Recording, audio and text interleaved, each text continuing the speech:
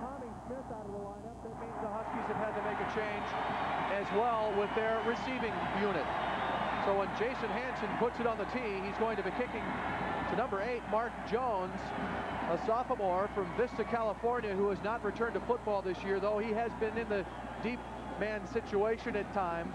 And also Walter Bailey, wearing number 23, will stand next to him, the sophomore from Portland by way of Western Washington University.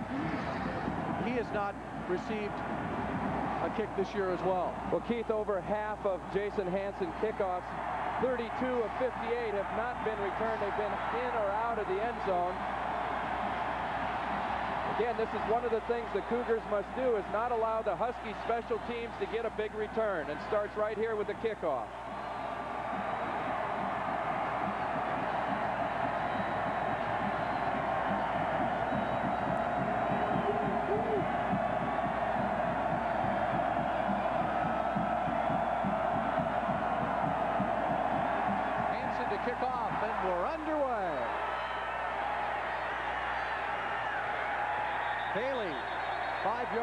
And Washington will begin first and 10 from its own 20-yard line.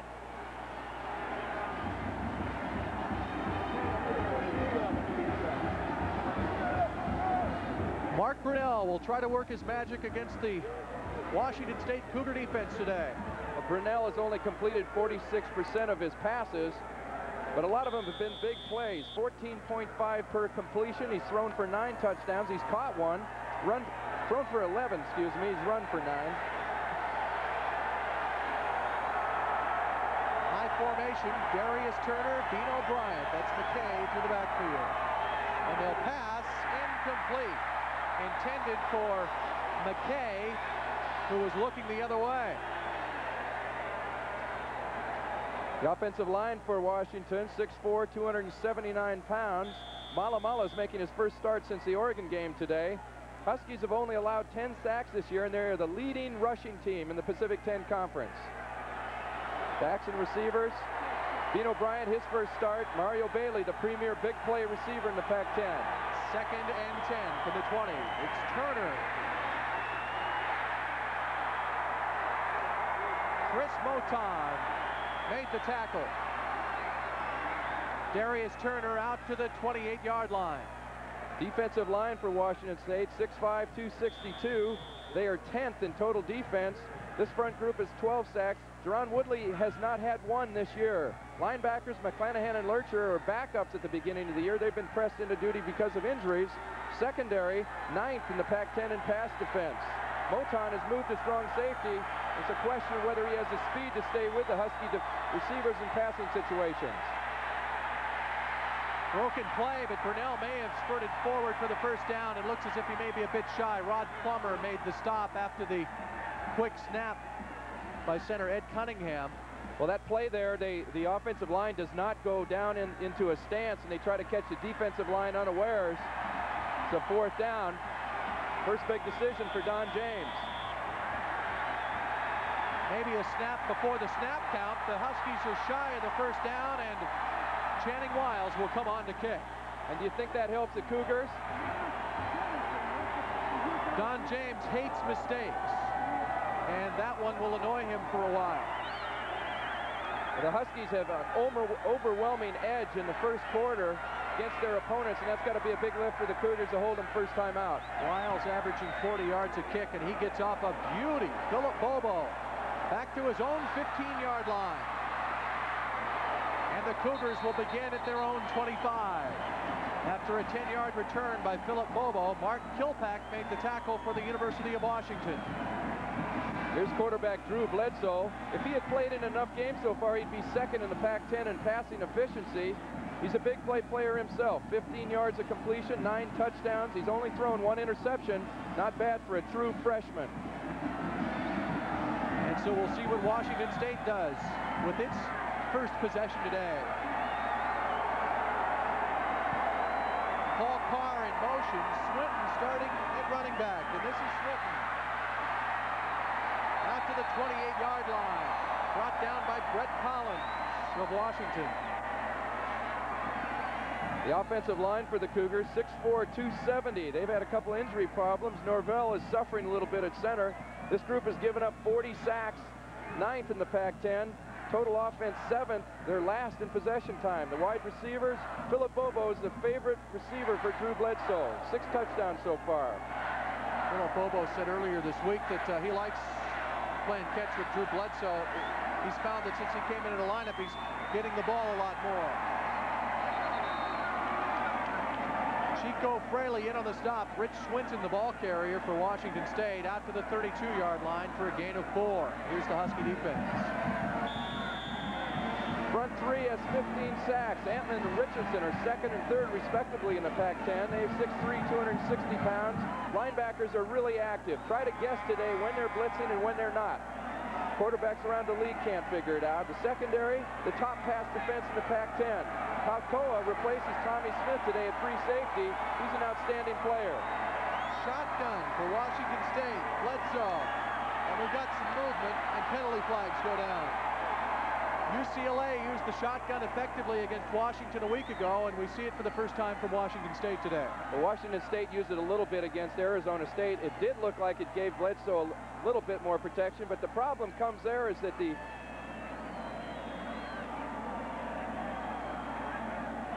problem there is that UCLA has a pretty good running attack out of their shotgun, and the Cougars really don't. Jim Fogeltantz, our referee today illegal procedure against Washington State.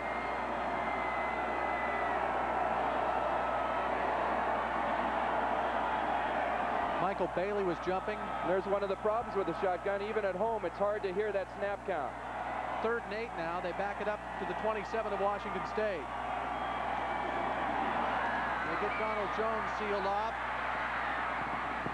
Incomplete. Eric Briscoe providing coverage on Philip Bobo. So it'll be fourth down for Washington State, a fourth and eight situation. And we'll see Jason Hanson punting for the first time today. You look out here, they're going to double team the contain man for the Huskies and give Bledsoe a little extra room to get outside.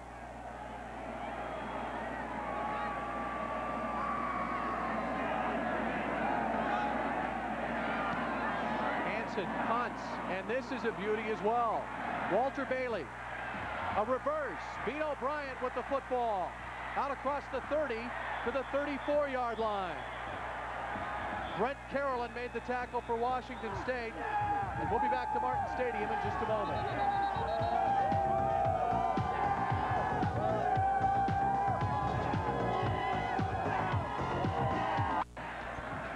There's Cougar head coach Mike Price, 11-18 to play, first quarter. Washington State and Washington unable to put points up after their first possessions. The Huskies ran a play while we were away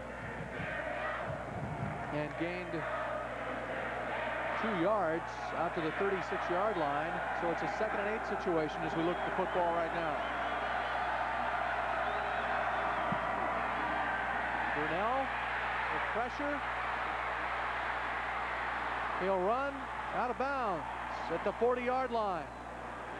Kurt Newton escorted him, and Lee Tillman was the man applying pressure in the Washington backfield. Well, one of the things the Cougar defense is going to have to do is contain Brunell. He's more dangerous. He's a lot like Elway. He's a lot more dangerous on the run than he is standing there in the pocket. And he has a propensity to go to his left when he's in trouble. Contain on the right side of the Cougar defense didn't do the job that time, Keith.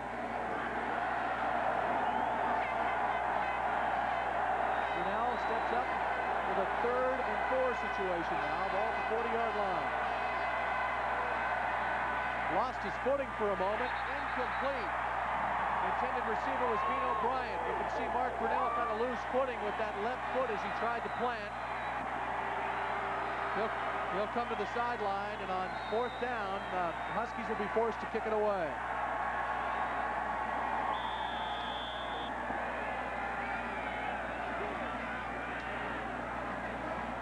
You see Brunell looking to his outside here, and the Cougars end up trying to give the little extra help to Moton. You see the free safety come over there. John Diggs. Bobo standing back at his own 20. Channing Wiles punting well today. This one back to the 10. Bobo wrapped up and dropped immediately by that Husky special team. And Washington State will take over first and 10 about its own 11-yard line. Matt Jones down to make the tackle for the University of Washington. There's Mike Price, who's been feeling a lot of heat lately here in the Palouse. His team was 6 and 1 a year ago. Since that point, they have lost 11 of their past 14 games. A 54-yard punt by Channing Wiles and a 5-yard return. Cougars will begin at their own 12.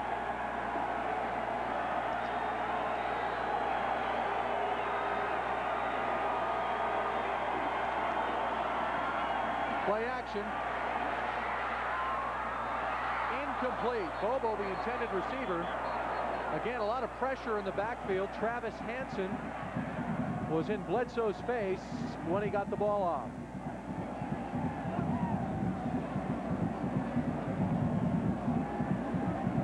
If you watch Richardson here get free, he puts a quite a blow on the young freshman.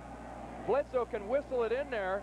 He's not going to take his eye off Coach Price had said he wanted him to throw to those guys that were closer coverage. You don't want to get any closer than that. This is a bad place for an interception, Keith. Haven't had a complete pass in the game. Brunell and Bledsoe combined over four. Second down. Down goes Bledsoe. Chico Fraley, Donald Jones, they were all there for Washington. Eric Briscoe as well. Mike Price had said last week after the ASU game that Bledsoe was going to have to learn how to throw the ball He's got to throw the ball a little bit quicker. He's waiting too long. You watch him back in here. He's just looking downfield as if he's mesmerized. Somehow, if everyone's uh, covered, you're going to have to take off or get rid of the football.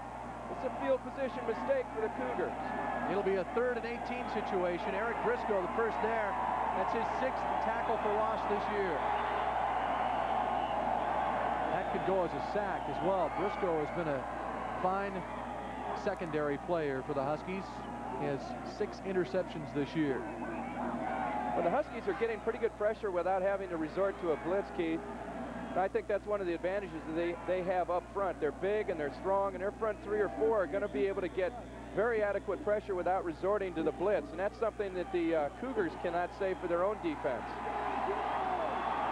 Nine and a half minutes to play. First quarter, no score.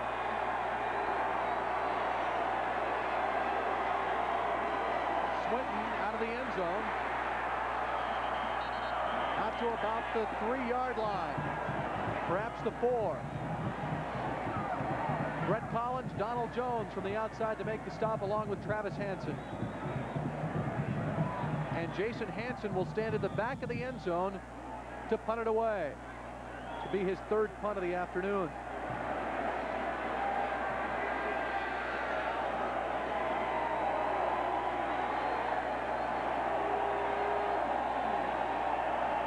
Here come the Huskies. Beno Bryant. It's a short kick. Bounces at the 35, and that's where it will roll out of bounds, and the Huskies will have excellent field position when we return to Martin Stadium in Pullman. No score, and you're watching Apple Cup 90. This is nuts. How come I know so much?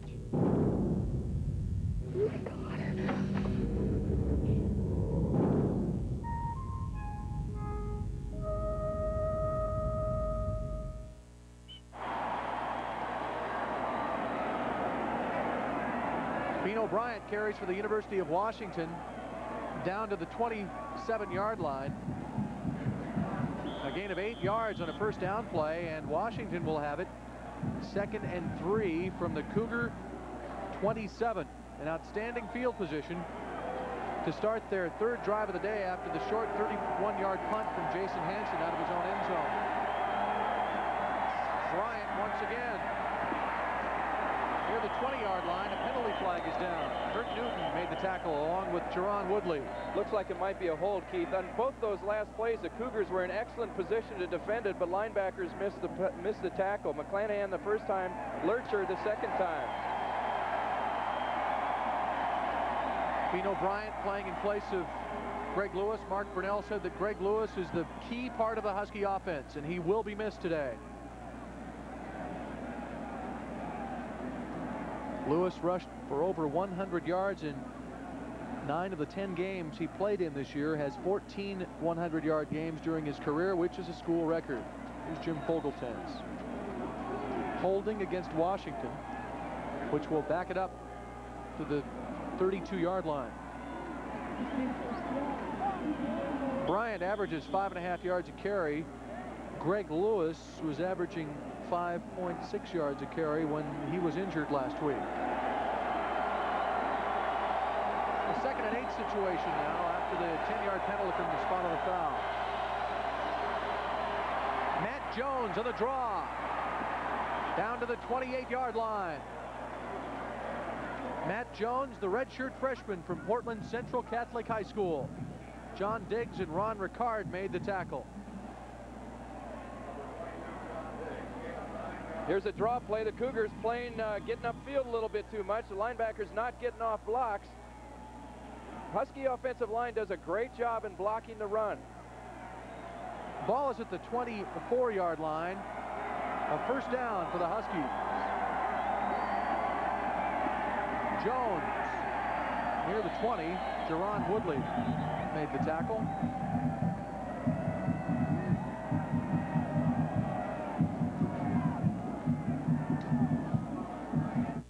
Next on the West, why is the government spending millions of your dollars to mothball these ships? The story on the West. Sunday night at 6.30.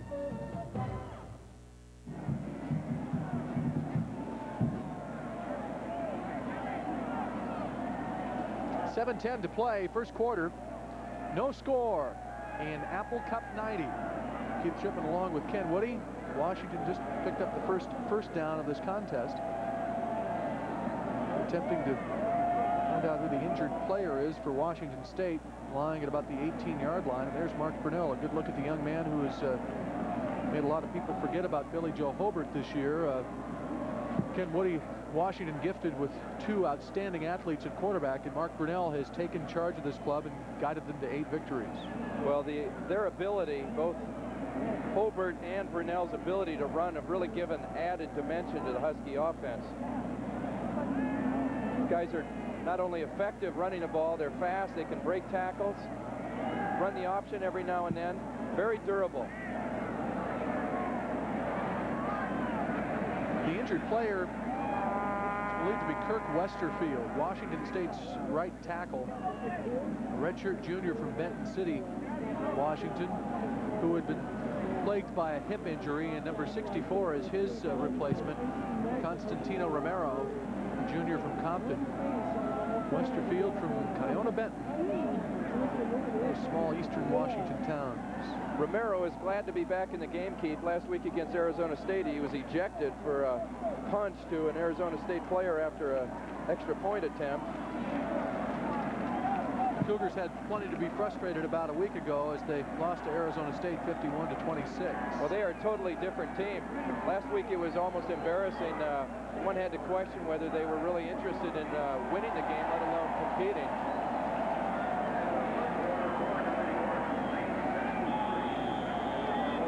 with every uh, series that goes by, the Cougar defense has to gain some more confidence. There's Tino Romero. Steps in tackle now. Second and eight situation. Jones and Bryant. And this is Bryant. Wrapped up at the 21 for no gain. Lee Tillman, the first one there for Washington State his ninth tackle for loss this season. Here's a great play by the outside linebackers here, maintaining leverage on the Huskies. Do defense. You got to keep people and funnel them back in the inside. Loertscher did a great job that time. So a third and eight situation now. Brunell wrapped up and dropped. Kurt Loertscher.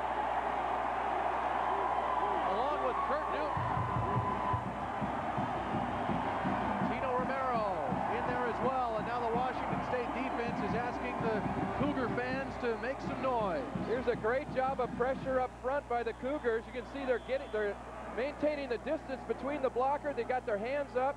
A slip by Brunell. And the Cougars get their first sack. A big, big play. Here comes a 42-yard field goal effort from Travis Hanson. He is two of three this year. All have come from 40 to 49 yards. He missed last week from 45 yards away. This kick is plenty good. And Travis Hanson has come back to his side of the state and put the Washington Huskies in front of the Washington State Cougars by a 3-0 score with 5.32 to play in the first period. Ken Woody, pressure-packed kick for the young man from Mead High School in Spokane. It sure was, and I'll tell you, that's a lot different than the 42-yarder he tried last week against UCLA. That ball was kicked with a lot of confidence, just like his brother. Tell you what, though, the Cougars have got to feel real good about a basically a, a field position uh, disadvantage, and they get out of it with three points. Five minutes left in the first quarter. Crowds into the game. Cougars appear to be in the game, too. The injury status of Kirk Westerfield, Washington State's starting right tackle defensively. He has twisted an ankle. It is not serious. He is expected to return. So Washington State will not lose depth from that standpoint. The Cougar, or rather the Husky scoring drive began at the 35-yard line after a short punt from Jason Hanson. Well, you know, as we get ready for the kickoff here, this was one of the Husky weaknesses, and they went through several kickoff men before punter Channing Wiles uh, got the job, and he has kind of brought a lot of excitement for Husky fans because not no no two kickoffs are the same, Keith. Knuckleball, slider, spitter, he's got them all.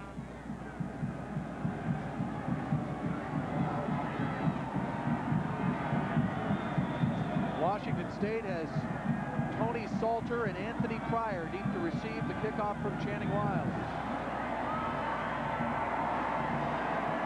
It'll be Prior the goal line. Prior to the 20 before being dropped by Mark Jones. And Washington State will start their first and 10 trailing 3-0. Again, the game was delayed by about 30 minutes in terms of starting time by an unfortunate incident prior to the game. They had to clear out the student section where they found an explosive device. That's why we're still in the first quarter at about quarter past four. First and 10. Trips right for the Cougars. This is Swint. Swint out to the 31-yard line for a first down, Washington State. Shane Pahukoa made the tackle. Keith, there's an example of how the wide open passing formation opened up some running lanes inside for the Cougars. And you got to ask your, yourself the question, why don't they do that more often? You see there's some big holes in there. It's not too difficult to uh, find them. Swinton has a 1,000-yard uh, rushing year behind him, so we know he's got some ability. He's only gained 275 yards this year, including the 17 picked up today on four carries. On first down. Bledsoe nearly intercepted. William Doctor broke up the play. Philip Bobo was the intended receiver. Well, Mike Price was yelling at Bledsoe after the play, and I would assume that maybe one of the things he talked about, hey, you, you have just so long to wait back there. They're covered, take off. There was a chance he might have run around the left side, made some positive yardage. The longer you wait to throw against the Huskies, the more chances you have of throwing an interception. So it'll be second and 10 now from the 32-yard line. Paul in motion. Play action in the middle. Complete to Philip Bobo at the 45-yard line. Pahukoa with a tackle, a 32-yard gain on the play. Washington State into Husky territory for the first time today.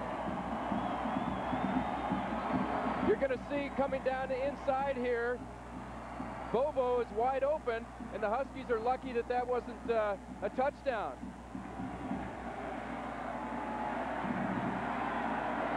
If Bledsoe leads him properly, he runs it into the end zone. First and 10 from the Husky 45. Swinton met immediately by Cheney's Steve Emtman. Emtman in the backfield for the 15th time for a tackle this year. And the 6'4 sophomore from Cheney, who only got to play one play a year ago, is real excited to be out there against his cross-state rival today.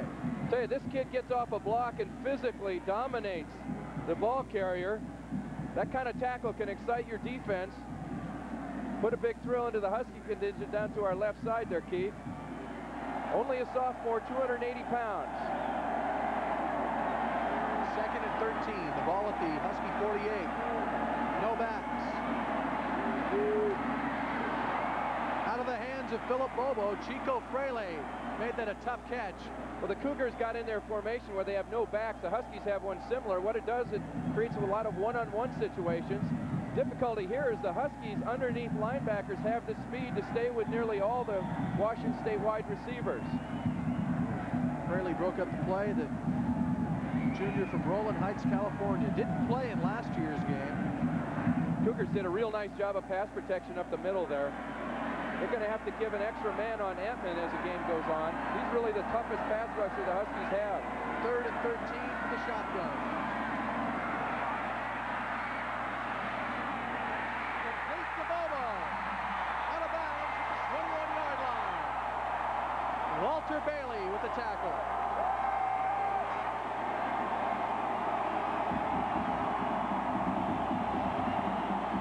There's his favorite pass, pass receiver again. You're going to see him out here from across the middle. Bledsoe does a nice job of finding him. Good pass protection by the Cougars. Here's a situation. tell you, this kid can run with the football after he catches it. A redshirt freshman from Moreno Valley, California. Last week caught 10 passes for 100 yards and three touchdowns. He's caught two today for 51 yards. On first and 10, it's Swinton for perhaps a yard. Tyrone Rodgers, Looks like from Carson, California, in there first. Looked like there was a little bit of an opening on the left side there, but the Huskies were right there. They have the number two rushing defense in the country, number one in the Pac-10. A lot of things uh, you'd think a coach would say, well, it's not even used running the ball, but every time they run the football against the Washington defense, they're giving their offensive linemen a chance to come off the ball and hit somebody, maybe take a little bit off those pass rush situations. No gain on the play, so it'll be second and 10. Drew oh, Bledsoe is Nobody's thrown covering the tight end there. trips left. And it goes to the tight end, Clarence Williams. Butch Williams inside the 14-yard line. Dave Hoffman made the tackle for Washington. And the Washington sideline right now is a real quiet one, watching anxiously. There was some confusion there between the outside linebacker. Not sure whether he should cover the tight end or not. It's good for the Huskies that he did come back in there. I think that's that's Hoffman. That's one of the things that the no-back offensive set does. It creates situations where inside linebackers have got to come back to the outside and cover a pass receiver. Looked like Hoffman was a little bit confused about his assignment there. And a penalty flag on the play, an unsportsmanlike conduct foul against Washington State.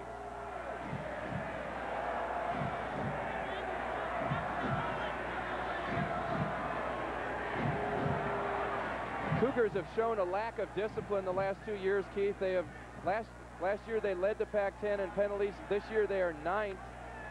Penalties have really hurt them.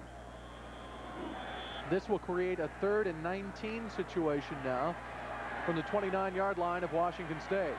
Shotgun formation again. Calvin Briggs goes to the left, as does Philip Bobo. Bobo fell down, did Eric Briscoe. They look at one another and say, hey, pass interference. The official says no. That may not have been a catchable ball, Ken. I don't think it was a catchable ball. You see that uh, the receiver, Bobo, Bobo runs a little snake route here up the sideline. They're trying to get kind of a pick here. Didn't really matter too much because Bobo lost his footing. Brought the defensive lineman down, defensive back down with him. Jason Hanson on the field with a 45-yard effort coming. Out of the hold of Jody Sears. This to the right half. Nearly blocked. Hanson's tied it up with a 45-yard field goal, and it's the Travis Hanson and Jason Hanson show right now. A minute 25 to play, first quarter. Even the best drivers can get in an accident. But when you have PEMCO insurance, help is always just a phone call away. Unlike some insurance companies that close at 5 p.m. and on weekends, there's always a live PEMCO representative at the other end of the phone line to take your claim 24 hours a day, 7 days a week. Help when you need it service from PEMCO. To learn more, call our Seattle home office or our Spokane office toll free from anywhere in Washington. This may be the perfect car for the growing family of the 90s. The all-new Ford Escort wagon. It has room for two people, three people, four, five. It's good looking, fun to drive, and it has a price a family can live with. Plus options you don't want to live without. Best of all, it has plenty of space back here, so you never get stuck holding the bag. Drive it at your local Northwest Ford dealer. When she was three years old, Adriana Savannah took a pair of scissors and stuck them in her eye. It took two surgeons, four exhausting hours of surgery, and more than $8,000 to undo the damage. At King County Medical, that's something we'd like you to think about. Because even though the cost of health care can be a little hard to take, according to people like Adriana Savannah, it certainly beats. A 46-yard field goal from Jason Hanson has tied it up with a minute 25 seconds to play, first period. Hanson is set to kick things off now to the University of Washington. Mark Jones, Walter Bailey standing back inside their own five. To an up back. Washington will begin out at its 34-yard line. Here's the uh, extra point, or the field goal, a high snap, and this guy here almost gets it off the corner. Nice job by Hanson to getting the ball off. Right now, the scoreboard should say Hanson 3, Hanson 3. Well, you got to imagine that their parents are just loving this. Well, this is almost the way you'd want it to come out if you were the parents. Both have ulcers by the time over. First and 10 from the 34. Complete to the tight end, Aaron Pierce. Rod Plummer made the tackle. Nice job of defense by Rod Plummer. He's right there. Cougars doing a nice. Cougars positionally have been in position on defense, Keith. They're doesn't look like they're going to try to force the issue with a lot of blitzing and stunning. They're going to play their positions. They tackle well, and the crowd keeps behind them. They have field position. Huskies could be in for a tough game. Gain of three on the play, and a passing play to Aaron Pierce, so it's second and seven now for Washington with one back. It's Matt Jones. He has the football out across the 40. Jones met by a host of crimson and gray. Rod Plummer was the first one there for Washington State. Plummer, the Cougars' second leading tackler this year. Huskies trying to break their formation, get one of the running backs out of the backfield and cause the, the linebackers for the Cougars to widen a little bit. Offensive line doing a nice job up front with some uh, initial holes. The Cougars have been reacting to the plays very well. Gain of four on the play by Matt Jones. So it's third and three now. Huskies back to the I formation with Jones and Bryant. Brunell for the first down. John Diggs in to bring him down. I'll tell you, that's what Brunell does so well. On the move. Makes the decision to get upfield and gets the first down as the quarter ends. Six-yard gain for the Husky quarterback. We have reached the first quarter. Uh, the first quarter has ended here at Martin Stadium, and uh, we are pleased you've joined us for Apple Cup 90. Washington and Washington State tied at three apiece. Healthcare coverage for over 50 years. And by Mazda. It just feels right. Keith Shipman and Ken Woody back at Martin Stadium in Pullman. Pleased you've joined us for the 1990 Apple Cup game. Wherever you might be in the great Pacific Northwest. Travis Hanson kicked a 42-yard field goal in the first quarter for Washington. His brother Jason kicked a 46-yarder for Washington State. And that is the scoring as we get set to begin the second quarter of play. Huskies with the first ball, uh, football, first and 10 from their own 47. McKay breaks one tackle, and he's down to the 40-yard line for a Husky first down. Diggs and Michael Wright finally wrapped him up after Chris Moton let him escape. Cougars blitzed on the play, and there's what we were talking about earlier. Here's Moton, who's formerly an outside linebacker, having to cover one of the fastest receivers on the Husky team. And as you can see him try to tackle in the open field here, he's a little bit outmatched. Orlando McKay, a member of the Huskies 4x400 meter relay team, which was very successful at the Pac-10 championships a year ago. First and 10, just inside the 40. Here's Bryant for a couple of yards. Dan Weber made the tackle for the Cougars, along with Kurt Loertscher. Cougars up front showing a lot of muscle. Penn State upset top-ranked Notre Dame today. Perhaps the dream hasn't died for Washington. Kansas uh, State losing to Colorado, so the Buffaloes likely be number one next week. Georgia Tech, a winner. Brigham Young, a winner as well today. Number one falls again. Second down, Matt Jones to the 35. Kurt Newton, the first one there. Football's loose, but the play was whistled dead. You know, we talked about the rivalry, Keith. This is absolutely amazing, the difference between the Cougar defense this week what, what we've seen all year round. They're playing with enthusiasm, with intensity, with aggressiveness. The crowd's egging them on. You can almost hear Mike Price's comment after the game. Maybe we need to play the Huskies every week. And uh, that's a scary thought. Well, I've always said that, you know, the Huskies bring out the best in Washington State, you know. Life would be very dull playing the Oregon State 11 times a year. Third and five. Backfield is emptied out. Brunell over the middle. Aaron Pierce into the end zone for a touchdown.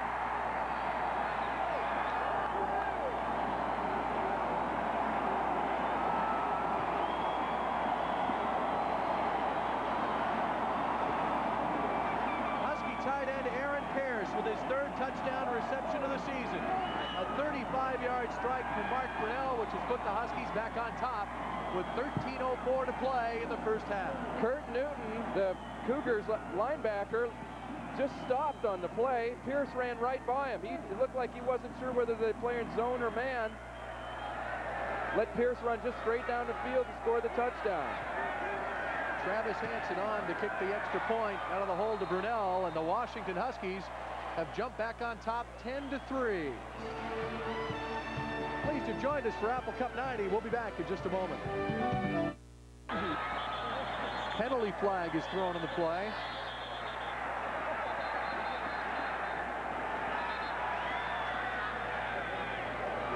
Channing Wiles has improved his kicking in each of the last five games in this kickoff chores. There's the drive. Four plays. On the ground and three through the air. Huskies drove 66 yards to the end zone to regain the lead. Well, it's very important that the Cougar offense get a little of that momentum back. Try to get the crowd back into the game. That's probably their biggest ally right now. The uh, Cougars will start from their own 17-yard line. Or will they? They will be backed up after the penalty. A holding penalty against Washington State on the return. The referee's microphone, the microphone that we normally have on referees for Jim Fogeltans, that's, that's the one that's heard in the stadium, is uh, very close to the radio frequency that's used by the University of Washington coaching staff. Therefore, the referee has discontinued using it because it's interfering with the Husky coaches. Bledsoe brings him up first and 10. Ball's on the eight-yard line of Washington State. And this is Swinton. Muscles forward to perhaps the 11-yard line. Steve Emtman will be credited with a tackle on the play. Well, you know, we've neglected to mention this really, but the Cougars have not run very often this year with two offensive running backs in the in the game at the same time, and that's what they're doing. When they're going to a one-back set, they're running one of the running backs in motion, trying to get the Huskies to take a linebacker outside give them a better chance of getting a running lane inside. This the deception that some of the Cougar players talked about this week? Well, I think partially, but, you know, Carr and Swinton are good backs, and they I think they ought to be on the field at the same time. Swinton in motion this time, leaving Carr in the backfield. Bledsoe will pass. Bobo was the intended receiver. Safety blitz that time. Briscoe came, was picked up uh, very nicely by Paul Carr. You know, we talked about Swinton and Carr. They have the speed to get out as receivers, too. So they kind of give a, a, a double double threat dimension to the Cougars offense. Eric Briscoe, Charles Mincy in that secondary playing very well. Now, if the Cougars wanted to break a, a big uh, uh, prediction here, they would run the football. They nearly always pass in third down. They're the last in the Pac-10 in third down conversion rates. For the season, Bledsoe is completing 51% of his passes. Chased out now. Gets rid of it. Incomplete. Nearest receiver was Butch Williams. And that'll create a fourth down. Well, good coverage by the Husky secondary. Good pressure by the up front people. Bledsoe has a bad habit of letting the ball come down around his waist as he's looking for people. That can create a fumble situation. There's a situation he should have just taken off and run with the football. Hanson with the punt, and this is a beauty.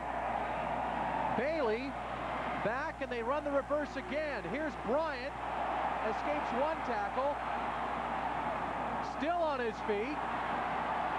Bryant is out to midfield and nearly breaks it for the end zone. What a tremendous return from Beno Bryant.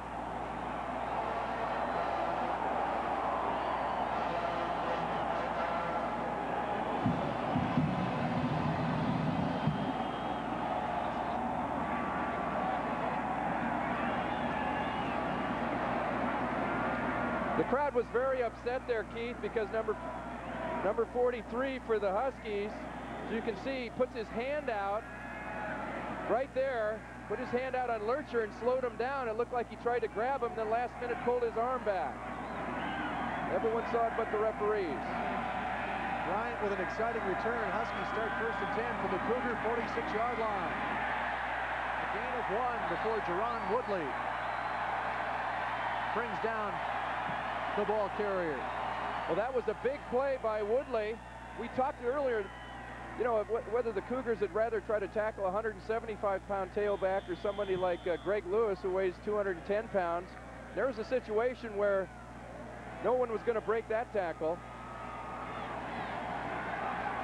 Gain of one. Second and nine. Brunell slipping again. Incomplete. Brunell's having problems with his footing, Ken, and, and the Husky coaching staff is not all that fond of OmniTurf. It's the same turf we see at the University of Oregon each year. Well, the, the fans at home may see a little bit of a, a, gloss on the top of the, the turf here, and that's sand that works its way to the uh, top. You can see it right there. He's, he's actually near the, uh, the insignia as well. But that, you can slip, particularly later at night here when there's moisture in the, uh, the AstroTurf. That's the second time that that problem has surfaced for Mark Brunell. Darius Turner, Beno Bryant in the backfield on third and nine. Brunell incomplete. The intended receiver was Orlando McKay. Ron Ricard providing coverage. And the Huskies will bring the punt team on. Right now, the Huskies two for six third down conversions. That was a big series for the Cougars. After that uh, punt return, which might have uh, stimulated another touchdown drive, Cougar defense playing exceptionally well. Best they've played all year so far. John Diggs standing back at his 10-yard line, awaiting the punt of Channing Wiles.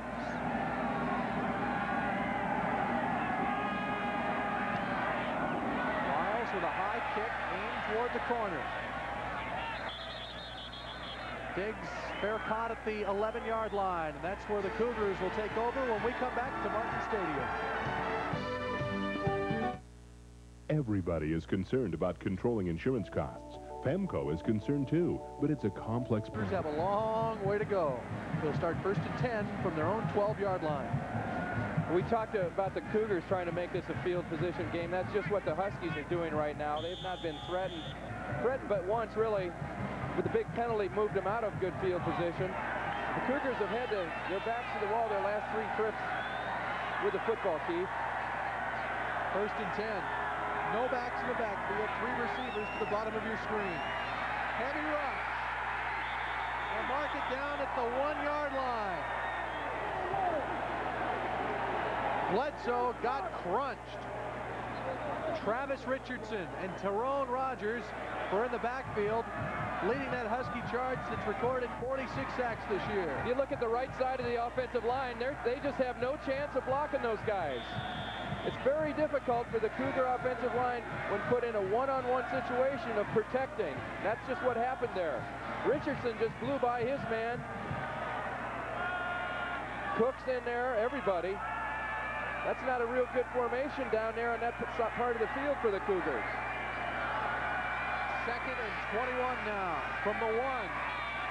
Cougars looking for some room to work, and they give it to Swinton. You know, Keith, we talk about the Cougar offense. One of the things that has plagued them is they've not put their offensive line in a situation where they can be successful. That particular formation, those people out there have very little chance of blocking the Huskies, and in that part of the field, they're putting themselves really at uh, uh, in jeopardy. The rushing numbers are interesting right now. Washington with 46 yards on the ground. The Cougars with net one. Out of the back of the end zone for a safety. They were in the shotgun formation, and it got away from Bledsoe. Bob Norvell, the center. Well, right before that happened, Keith, I was wondering about the possibility possibly of a uh, quick, uh, kick. quick kick. But, you know, this may sound a little strange, but this may actually work in the Cougars' favor. They're giving up two points, but they're going to get a chance to kick it from the 20 and get the Huskies perhaps that much further on their side of the 50. Emotionally, though, you don't want to give up a safety. Cougars have not been in the shotgun much this year. Bill Walsh of 49ers never had his 49ers in the shotgun. That's one of the reasons. Hard to hear the signals. It's just it's just really demoralizing to have a bad snap. You want to put your quarterback in the end zone in the shotgun formation. How much sense does that make? Well,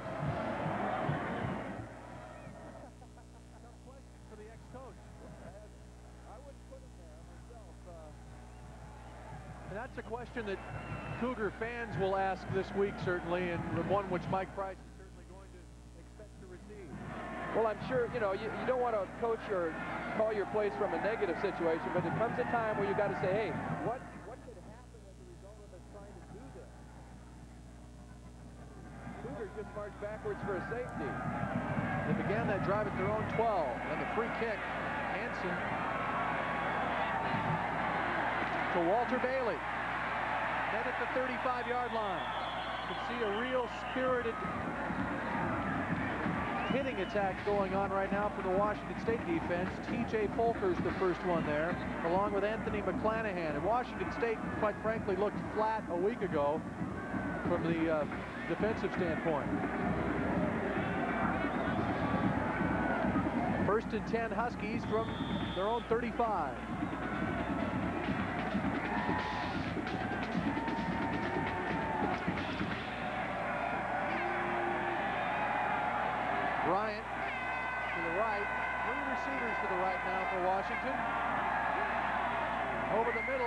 Middle the tight end, out to the 44.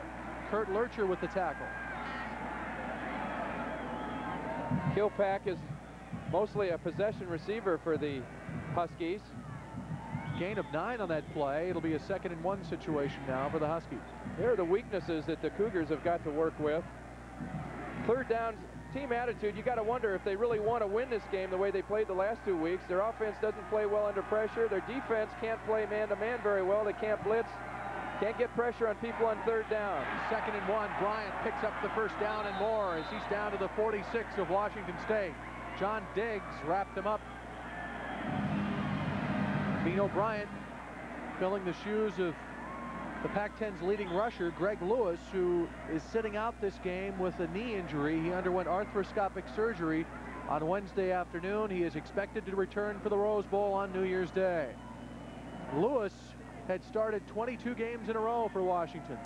And so anytime you put a new guy back there, you, you're bound to have some some question marks to answer. Well, Beno looked really tight when he got in there against UCLA. You know, you could see that he was pressing. He dropped a couple of short passes.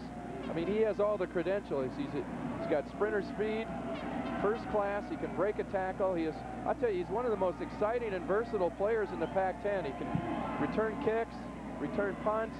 And you see the armband. He's wearing GL on his right arm, number 20 on his other arm for Greg Lewis. That's right. Greg Lewis is a, is a leader of the offense. I think that he has a great, just his presence has a great impact on the whole Husky team. He said coming in he wanted to play his heart out for Greg Lewis. He wanted to make Greg Lewis proud of his effort. Well, I think that speaks very highly of the chemistry that the Huskies have on their team this year. They have a lot of respect for each other. You watch them on the sidelines during their game. They they get along well. They everybody uh, everybody roots for each other. There doesn't seem to be many cliques on the team, and you know that's easy to say when you're number two in the country or you're going to go to the Rose Bowl. But I think it was that way right when the season began. The delay was because the 25-second clocks were malfunctioning. They have resumed their operation.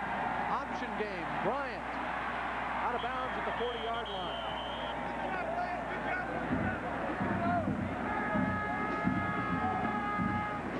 And Brunell is uh, examining his left thumb.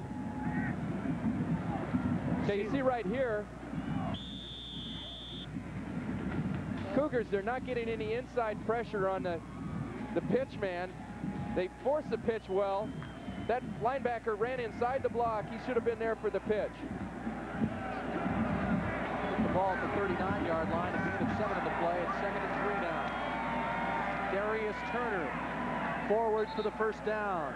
Kurt Newton, the senior from Kansas City, Kansas, the second leading tackler in the Pac-10, who missed last week's game with a knee injury. He was questionable coming in today, but he has played nearly every down on defense for Washington State. But Turner really impressed us uh, last year. I think he's really the outstanding fullback in the Pac-10. He's got a lot of quickness. When people overplay that tailback, he has the ability to do a lot of cutback kind of plays himself from the fullback position.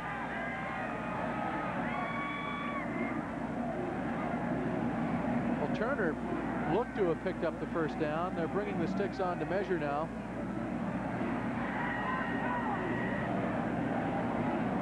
Is Ray Highsmith holding the football. And Jim Fogelpants will go down and show us that they are just inches short of the first down.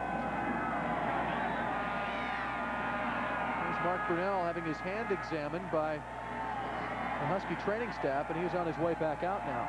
We'll try to get an update on the status of that injury and see if it's anything that might be affecting Greg's play. So third and a short few inches for Washington's Ball outside the 36. Penalty flags, movement. Looked like the Cougars might have been offside there.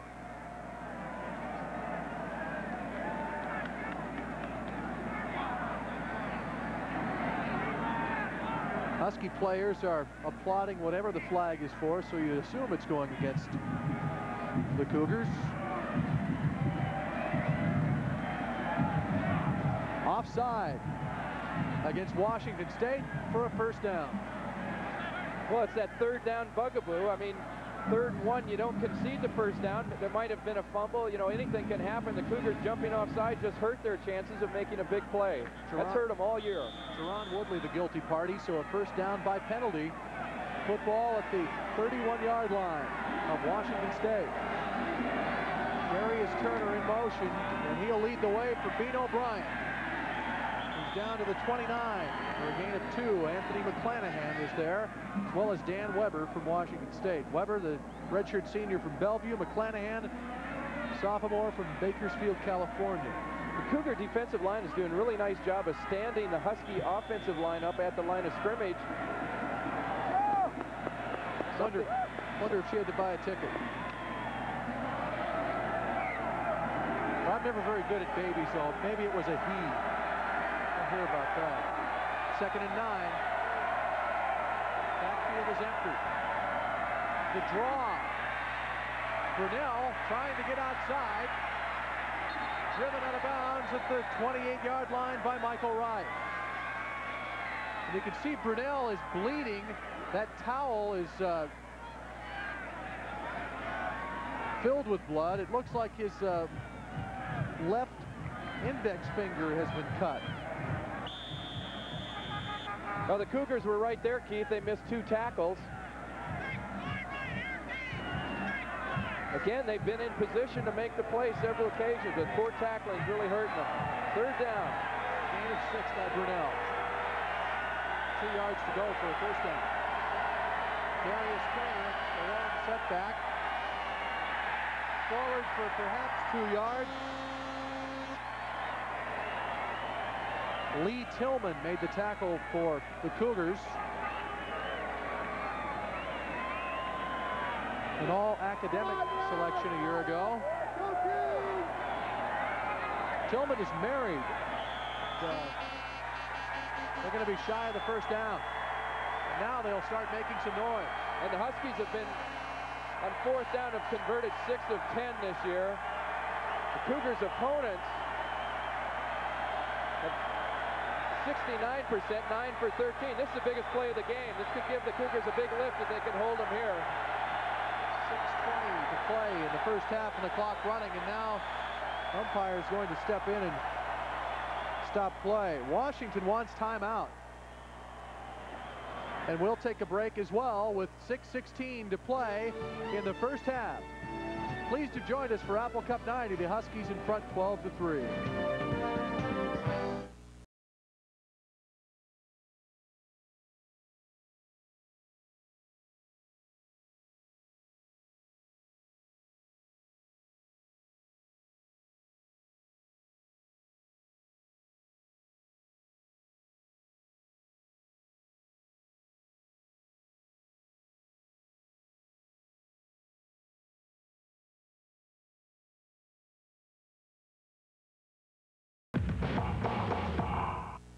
Every year, people compete in the Winter Games. There's the chain drop, the lift and tow, the hat toss, and plenty of sideline activity.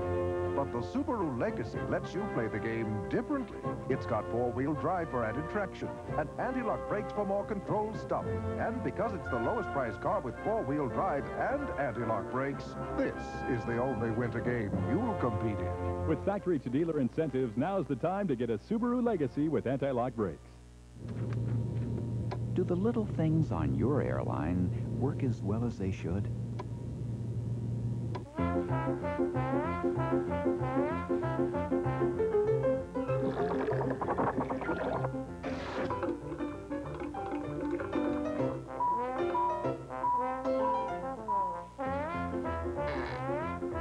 Before you get on an Alaska Airlines plane, we make sure everything is shipshape, inside and out. This is what they were tending to during the timeout. Brunell, uh, it just remains to be seen if that's going to affect his passing. I think, you know, if you're going to hurt any one of your fingers, that's probably the one to do. Doug Callan, the assistant trainer, attending to Brunell's index finger. Fourth and one from the 22. I formation with Turner. Jay Barry for perhaps a yard. Barry, the sophomore from North Glen, Colorado, with his first carry today.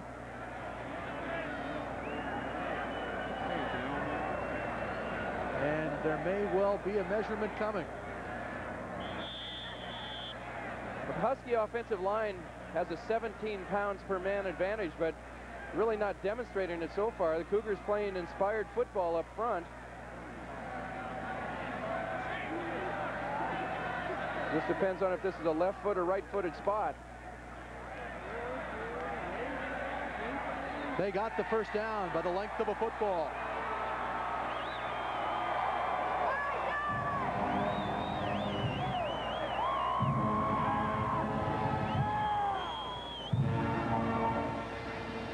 Washington keeps its drive alive as Jay Barry carries for a couple of yards.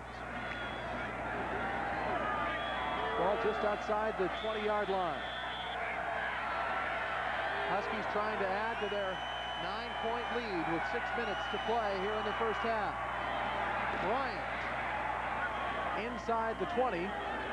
Kurt Newton with the initial hit. Chris Moton helped bring him down. Chris Moton is lining up so far inside McKay that McKay cannot come in and block him without uh, clipping him. And pretty good strategy by the Cougars to stop that outside game.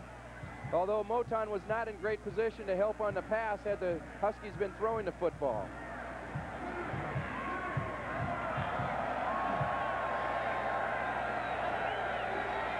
Darius Turner, Beno Bryant in the backfield. Here's Bryant inside and inside the 10-yard line to perhaps the 8 where it'll be first and goal for the Huskies. McClanahan made the tackle. As Beno Bryant made his cut there back to the inside, he did a nice job of faking the uh, linebacker, Newton. Newton's pushed to the outside. There's a move right there that made uh, Prior just fall right down. That, excuse me, that was a safety. Bryant with 42 yards now. Fake John Diggs right down to his to his knees. First and goal. Darius Turner inside the five. John Diggs with the tackle. They'll spot it just outside the two-yard line. Ron Ricard was there as well for Washington State. Huskies are really effective with a quick, quick hitting running game so far.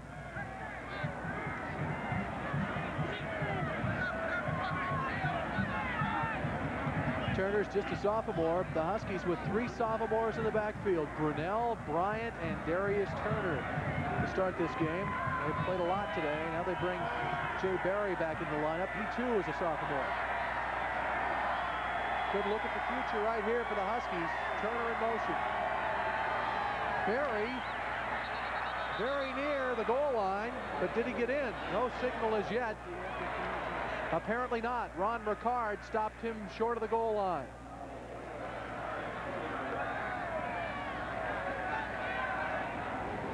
You can see Moton's coming on the blitz. Pretty good job by Barry. Looks like he is he was down originally a little bit short of where they uh, eventually spotted the football. Nevertheless, third down, big play for the Cougars. Third and goal, inches from the goal line. Turner and Barry remain in the backfield. Brunell gives to Barry, and he's in for the score. Touchdown, Washington, as Jay Barry carries from a yard away. And the visitors have gone in front 18 to 3.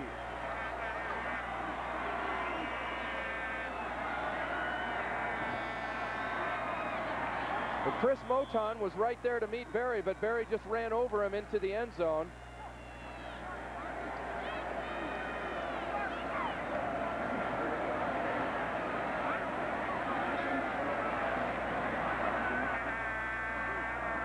Travis Hanson on to kick the extra point. It's good, but he fell to his bottom. He lost his footing as well. With three and a half minutes to play in the first half, Washington has jumped in front 19 to 3. You see Chris Moton on the right-hand side of your screen here. Fights off a block. He's right there to make the play. He can't do it. That's really the difference between the Cougar defense and the Husky defense. Huskies are right there, make the play, keep that guy out of the end zone. Moton fought off two blocks. You got to make that play. Good running by Barry.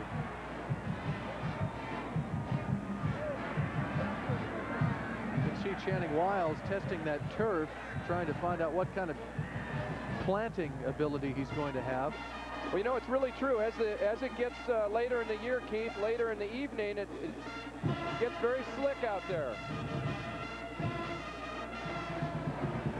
Well, we've not had snow and we've not had wind nor rain. But the night's not over. 65-yard drive for Washington. Jay Barry scored on third and one for the touchdown. Well, Keith, the Cougar offense has got to get some first downs here. At least get some kind of movement if uh, this is going to be a football game. The defense is playing very, very well, and the offense has got to take some pressure off of them.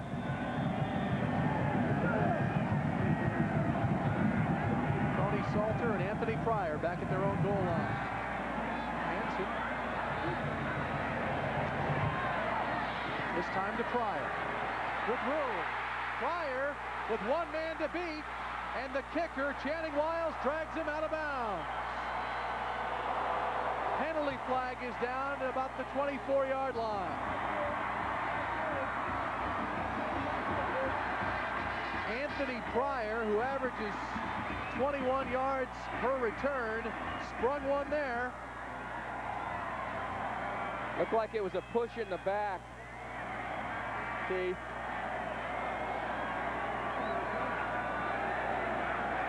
And this one's coming back. This, penalty's gonna this penalty's gonna cost the Cougars 45 yards. It happened somewhere on the 24-yard line.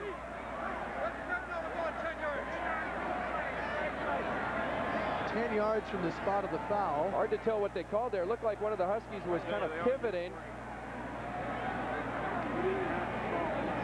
Was hit in the rear, but hard to tell from our angle.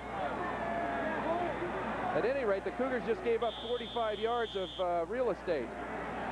And that was a 47-yard return that goes for naught. Cougars will start first and 10 from their own 14. Bledsoe, play action. Wrapped up, and he's going to go down. Travis Richardson was the first one there. And the Washington State offensive line, which has allowed 40 sacks this year coming into the game, has now allowed 43. Well, you look out and see how uh, the back could have just run right through that uh, a huge hole there. You kind of wonder why the Cougars don't give it to him one time on that play. They've run this play action scheme twice so far and have yet to run a running play with that action. Here they go. They're going backwards again. And they're backed up to their own six-yard line after the loss of eight on the play. Second and 18. Shotgun once again.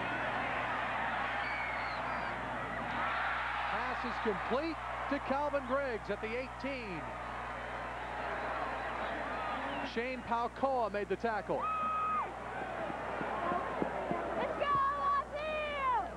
Let's pause for 10 seconds to allow our network affiliates to identify themselves. This is the Northwest Zone Apple Cup 90. Watch Close Encounters of the Third Kind, Wednesday night on Q13, and you might win a Nintendo Game Boy. Tune in Wednesday night at 8 on KCPQ 13. On third and six, Bledsoe to Griggs once again for a first down out to the 35-yard line. Pahukoa with the tackle again for Washington. The Huskies have backed off into a zone defense the last two plays, and Bledsoe has got the kind of arm he can pick a zone apart. Huskies may have to resort to putting a little pressure on him, coming with a stun up front or perhaps a blitz. 19-yard gain of the play. A first down for Washington State, and they'll use a timeout here with 1 minute 50 seconds to play in the first half, trailing 19 to 3. We've seen Bledsoe's arm strength the last two plays. Well, no question. No question about it. I've got a good friend who's a defensive coordinator at Oregon who saw Bledsoe when he was at Walla Walla High School and said he was the finest quarterback he'd ever seen in high school. And everything I've seen leads me to believe that that's true. A lot of big-time teams were after him. Washington, Miami. You see him throw. He's relatively flat-footed as he throws the football. He's got a nice ability to look one way and then come back to another receiver. This is something that Mike Price says he's got to work on more. He tends to look at his receivers too long. Huskies were in kind of a soft zone like that. Last week against Arizona State, the Cougars scored a touchdown a little over a minute against Arizona State in a similar situation, Keith. So I think the Huskies have seen that film, and they're not going to they're not going to give Bledsoe a chance to sit back there and pick them apart. Calvin Griggs has two receptions now. 25 yards.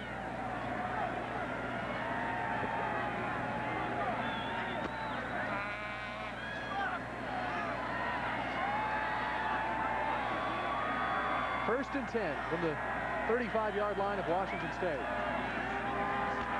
Here comes the rush again.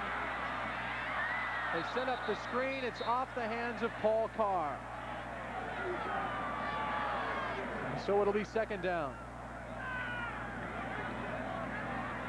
Both quarterbacks have shown a little bit of a tendency today under pressure to throw the ball high. Bledsoe every once in a while throws the ball real hard on a short pass. He's got to learn to take a little bit off of that. The ball, like the turf, will get slippery as the evening wears on.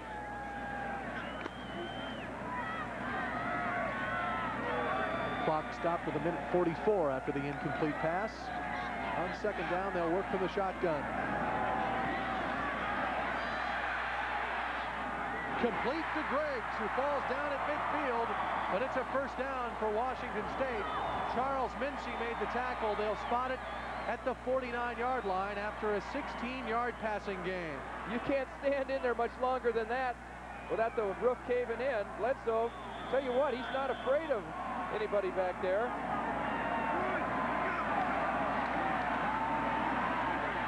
He'll throw again, this time complete. And of bounds goes Brett Carolan, the tight end. Walter Bailey drove him out of bounds, and that'll stop the clock with 126 to play in the first half. The Cougars operating with their clock plan drive here. This would be a great time to run a draw play. Picked up six yards on the play, down to the 43. The Cougars are going to operate from the shotgun again. Carr and Swit in the backs over the head of Bledsoe. Ball still loose. It can be advanced, and the Huskies recover the football.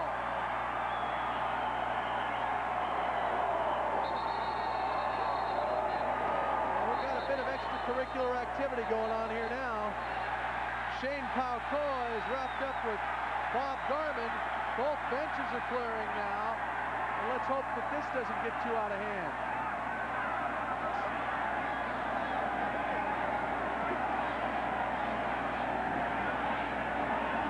Here's what's bad about the, you see a safety blitz come right here, and the snap's going to go over Bledsoe's head.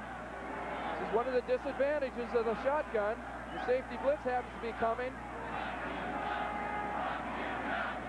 You got to wonder, Keith, the Cougars just set themselves up for bad things to happen. Mark Jones recovered the fumble, and as they're coming out of it, Bob Garman got hooked up in the middle with Shane Pahukoa, and you see, uh, you see why. The Husky coaches did a great job of keeping all their players on the bench. Can't say the same for the Cougar coaches there. They got out there in a hurry. First and 10 Huskies from the 37 of Washington. They're going for it all. Touchdown, Mario Bailey.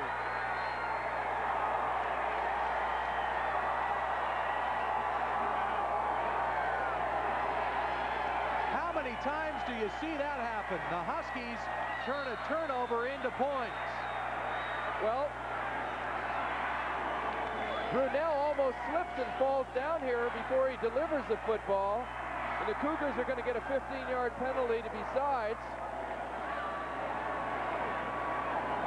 You see the free safety trying to get over there. What a great catch from Mario Bailey, the Oh, a young perfect man from throw. Seattle's Franklin High School. Absolutely perfect throw. Brunell almost slipped and fell down.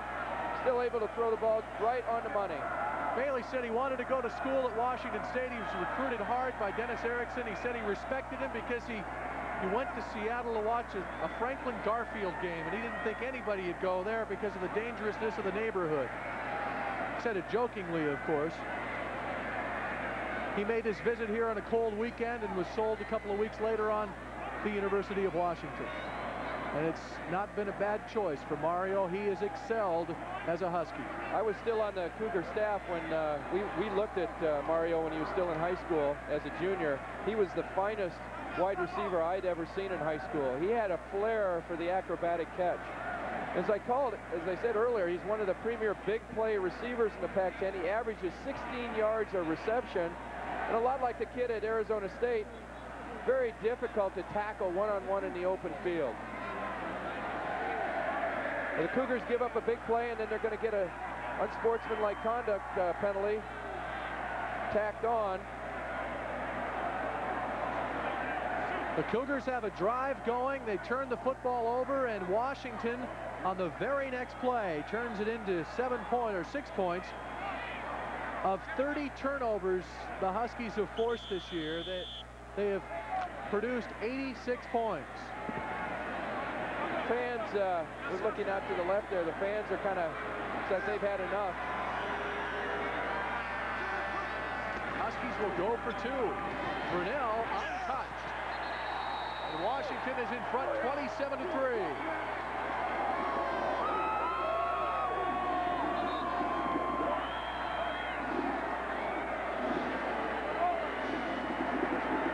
One fourteen to play. Let's see Don James looking very calm, cool, and collected right now. Here's the two-point conversion. This is what you call walking it into the end zone. Looked like the safety was responsible for the quarterback that time, and that makes it, that's one of the difficult things about a very active quarterback. Hard to get to him, and he can turn it up wherever he gets a seam, and the man responsible for him has got to be in that situation too.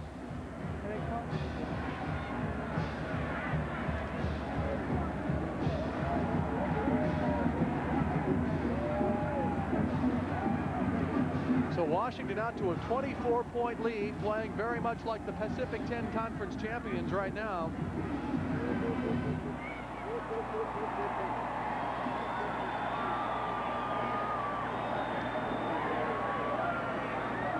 Here's Mario Bailey's touchdown catch. Perfect pass. It comes in straight down. There was no chance for the defender to be there.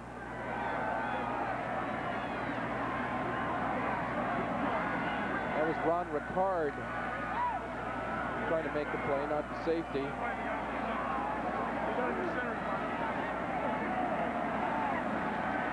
Well, a lot of people have maligned Brunell's throwing ability, but that ball was right on the money. That was a big-time throw. So instead of uh, moving toward the end zone for a score at the end of the half, Washington State turns it over, and the Huskies do that. Salter out to the 30-yard line where Washington State will take over. Charles Mincy made the tackle. College Football 90 is a copyrighted presentation of the Kelly Television Company, and any rebroadcast, retransmission, duplication, or other use of the descriptions and accounts of this program without the expressed written consent of Kelly Television and Washington State University is prohibited.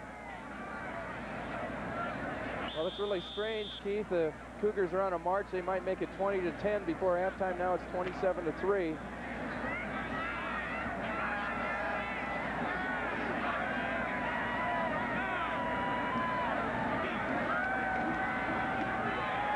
Bledsoe to Bobo out to the 40-yard line. Dave Hoffman made the tackle. 57 seconds to play first half. Looked like Collins had him wrapped up initially, but Bledsoe did a nice job of getting away from him. He's 6'5", 220 pounds. He's difficult to bring down. Now, since the 407 mark of the first period when Jason Hanson booted a 46-yard field goal, the Cougars have been shut out. Bledsoe to Bobo once again to the Husky 45. Walter Bailey with coverage. The Cougars have the second best pass offense in the league. When they're cooking, they're hard to stop. Bobo with four receptions now for 66 yards. 45 seconds to play. First half. Complete and out of bounds goes Calvin Griggs. You can see Drew Bledsoe is starting to move around a little bit, uh, get away from that rush. Offensive line doing a real nice job. Cougars can move it in a hurry.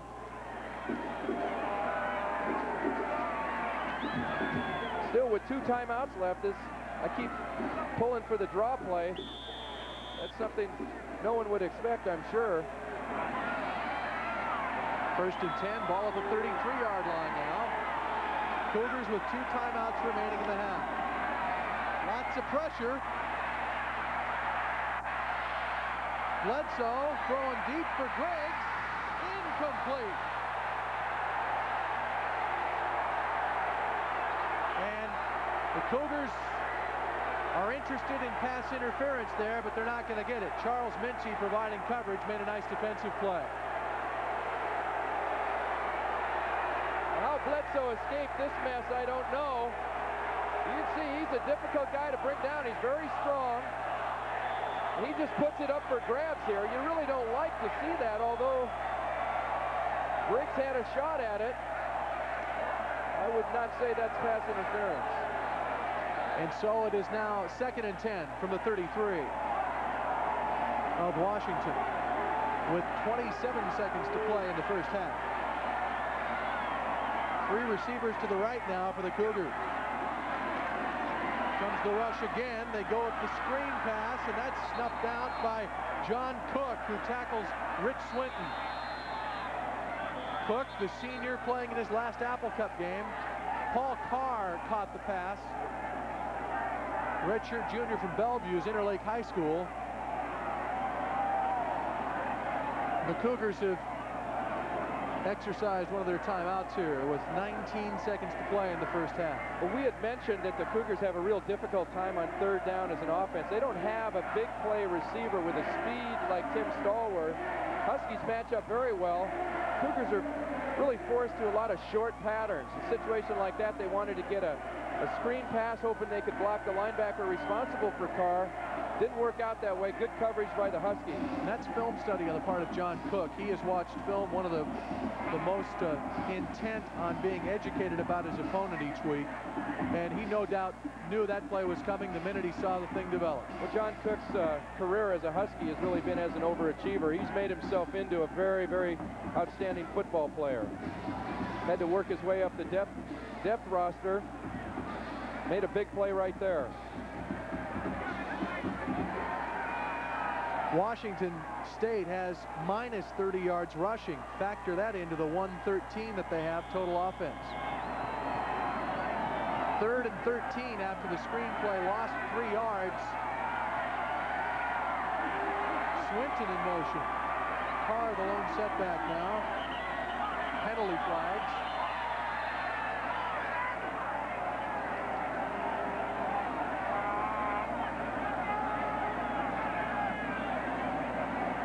Officials will have a discussion here and figure out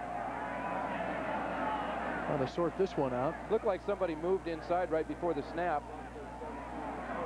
Don't know why you'd ask the back judge about that.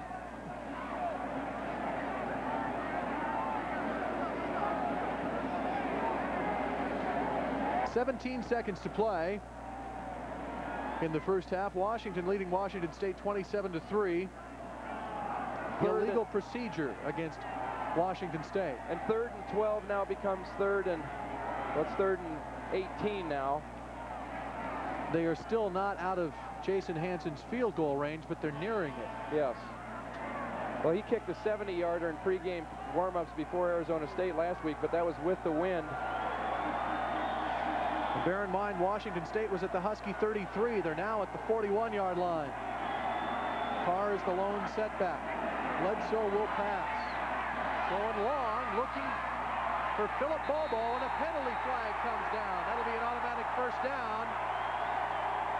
Shane Pahukoa.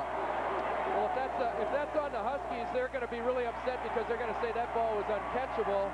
Really, from this angle, it looked like it was pretty well overthrown. That may be what one of the officials is telling the head official now. Oh, they're going to call it. Interference on the Huskies. And it will not be spotted where the foul occurred. Instead, they will go back to the line of scrimmage and mark it off. Well, here's a replay. You've got to decide for yourself if this ball is catchable or not.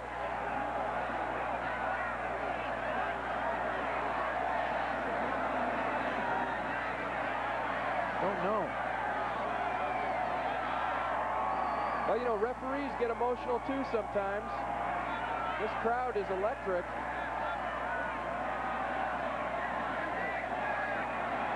It'll be first and 10 for Washington State with 14 seconds remaining in the first half. And the Cougars have elected to use their final timeout of the first half.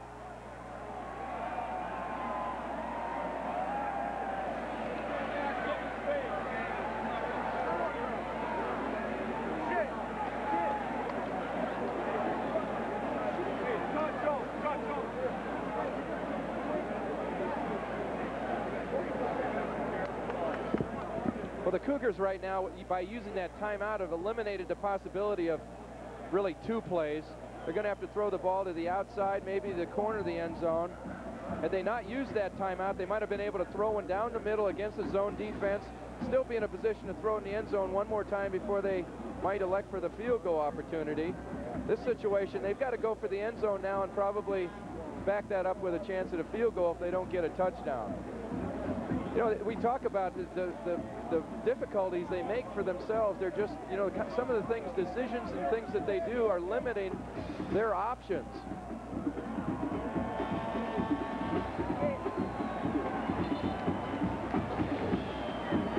First and 10 for Washington State from the 25.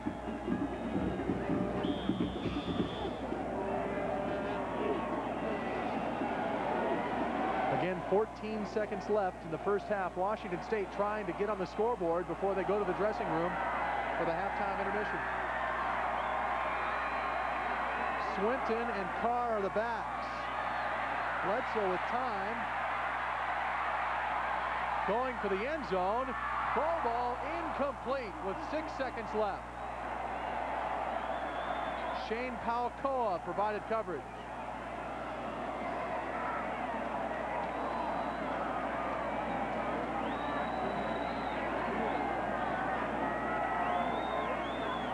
Here's a replay of the play. Once again, Bledsoe, quite dangerous himself when on a run. You see how he flicks this ball across his body with a lot of zip on it. He put it right there. A little hot to handle. Field goal attempt for the Cougs. It's going to be a 41-yard, perhaps a 42-yard effort for Hanson. Blocked. That's the fifth block this year. Washington State special teams didn't get it blocked, and the Huskies knocked down Hanson's field goal attempt. A high snap, the fifth time that Hanson's had a kick blocked this year. Hillary Butler appeared to be the first man through as the first half comes to an end.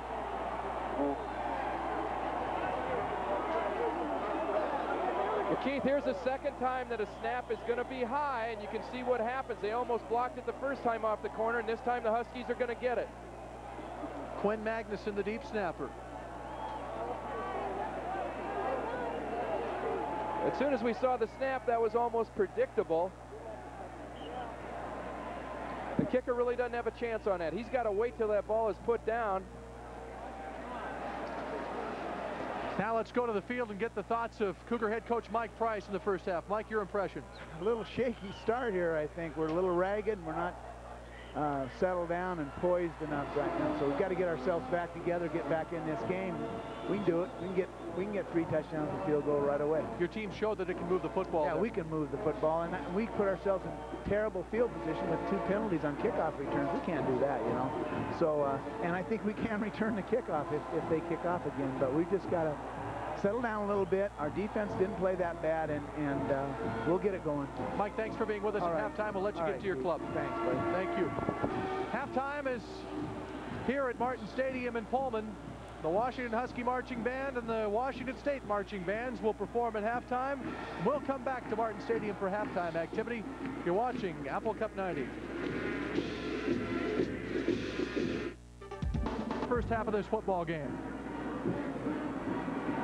Now, Don apparently cannot hear us at this time.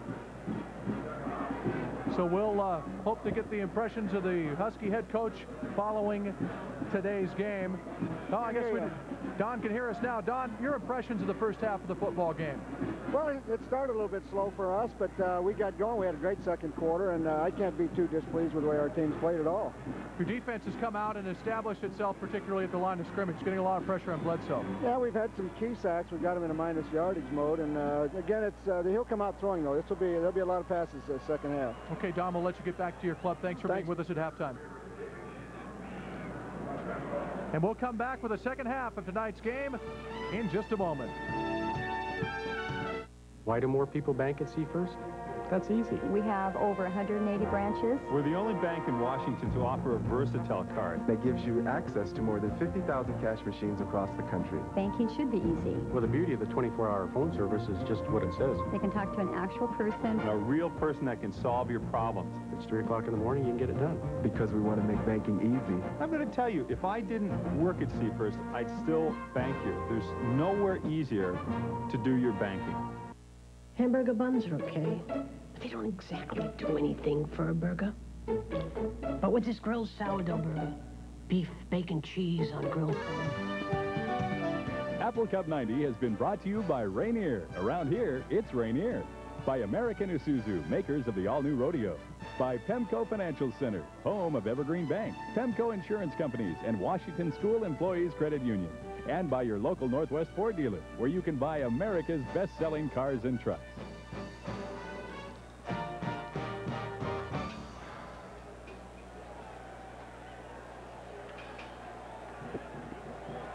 About set to get the second half underway here at Martin Stadium as Channing Wiles puts it on the tee to kick off.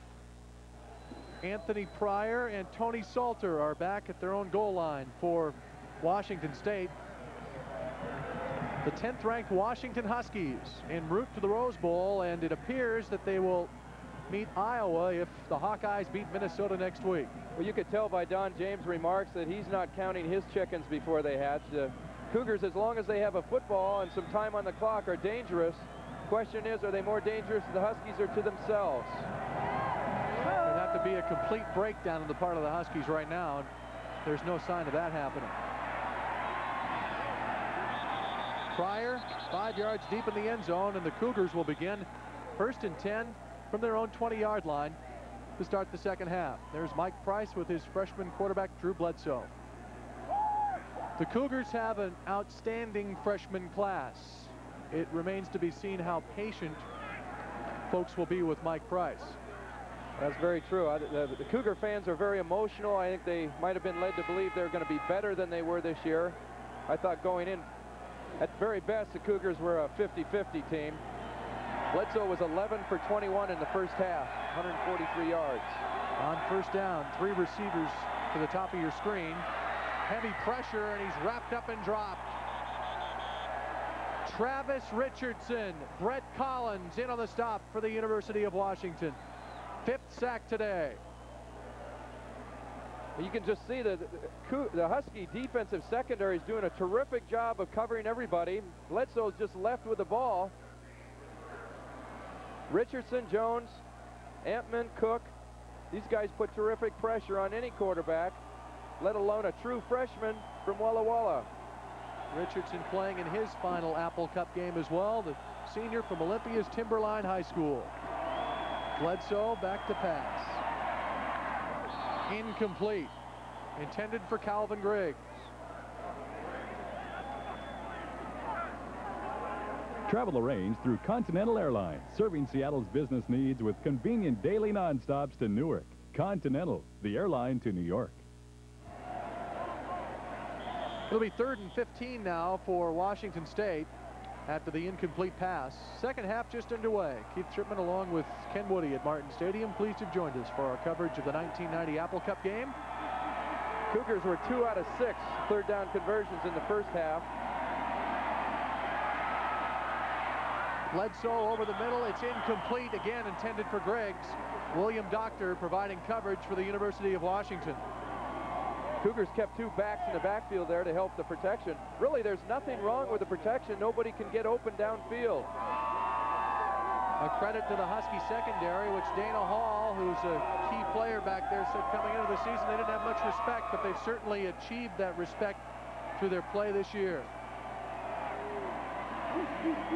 Ranked first against the pass, as they do in every category defensively in the Pac-10.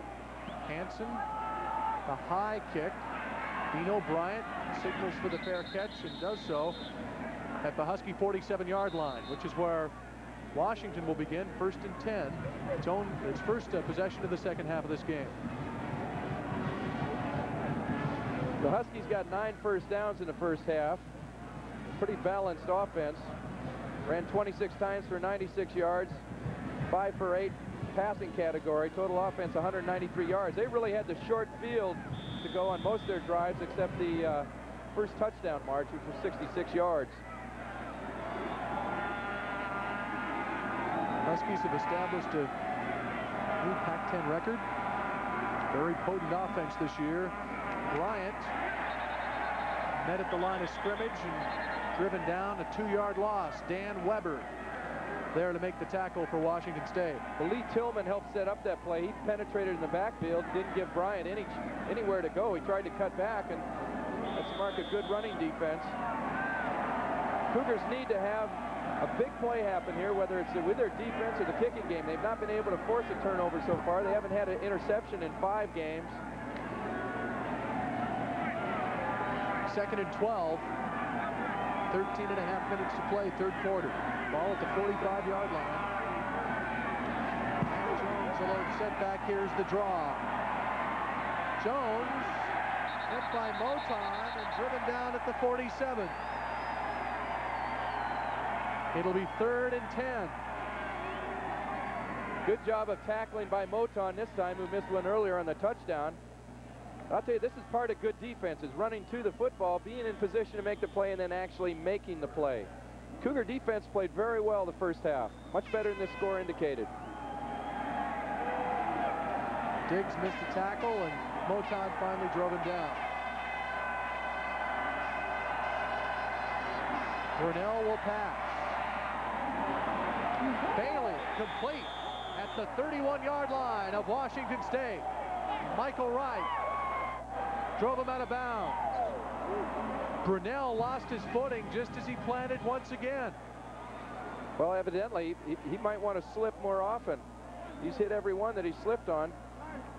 Pretty deep coverage by the Cougars zone defense. They gave him a lot of room, hoping to get coverage before uh, ball got there. 22-yard passing gain. Beno Bryant on first down. To the line of scrimmage, no gain on the play. Kurt Newton and a host of other Cougars were there.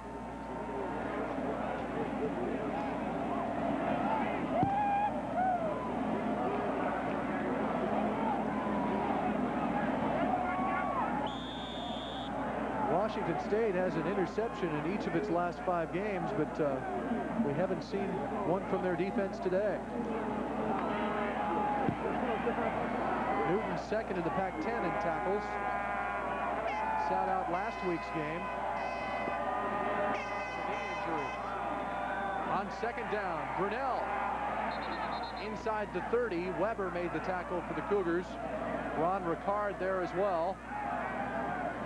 Safety blitz by the Cougars there. Moton was coming off the corner. Brunell ran away from it. I don't know if that was design or an audible. But an option's a very good play to run against a blitz because everybody's man-to-man, -man, and the run run support is very soft on the corner. You have somebody playing the quarterback man for man. It's usually a linebacker, and that's a mismatch. James, the dean of Pac-10 coaches. Matt Jones and Beno Bryant. And it's Bryant with room Beno inside the 15-yard line.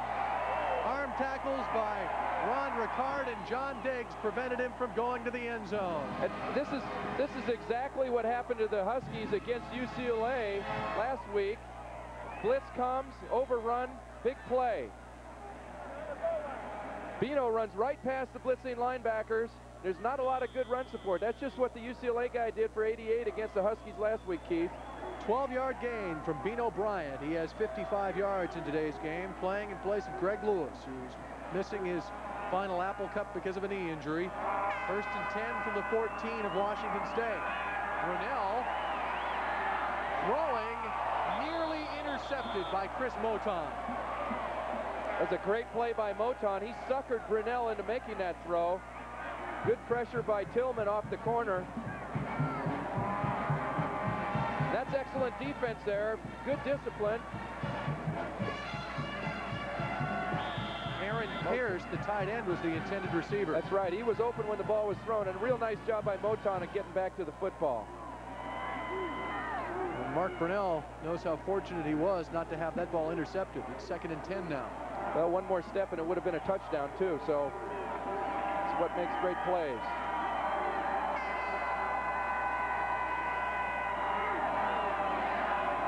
Brunell, they tried to set up the screen to Matt Jones, and it didn't develop.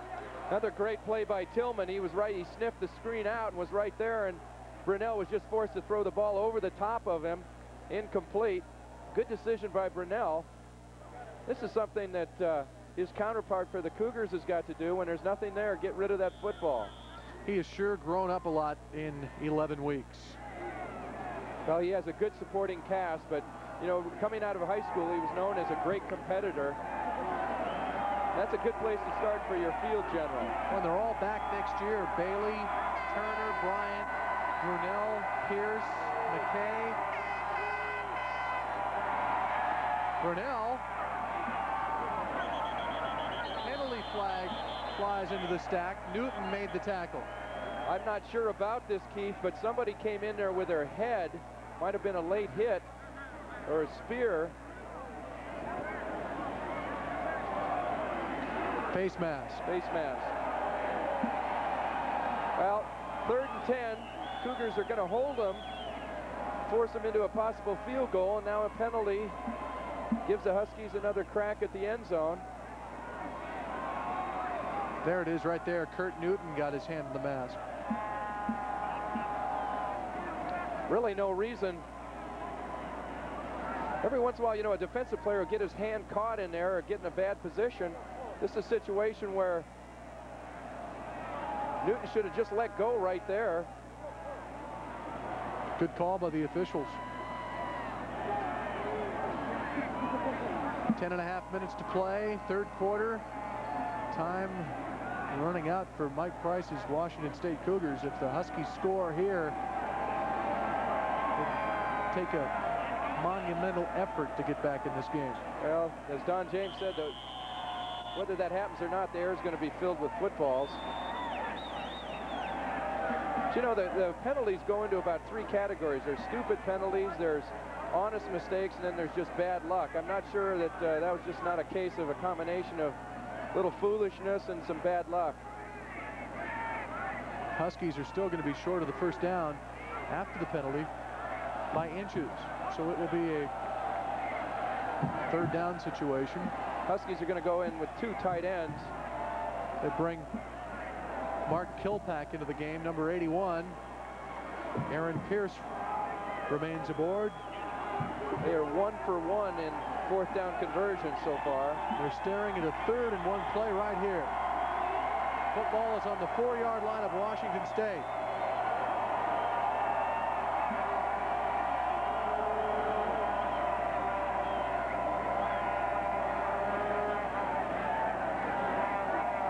Officials are sorting things out. Appears they're, uh, they have fourth down up on the, the chain gangs marker, and they want to make sure here. Well, this is something that the crew, officiating crew back in the Missouri-Colorado game wish they had done. Well, it is indeed third down, and they track the plays, not only in the press box, but in other areas as well. That's a good job by the officials of making sure. Now the scoreboard's wrong.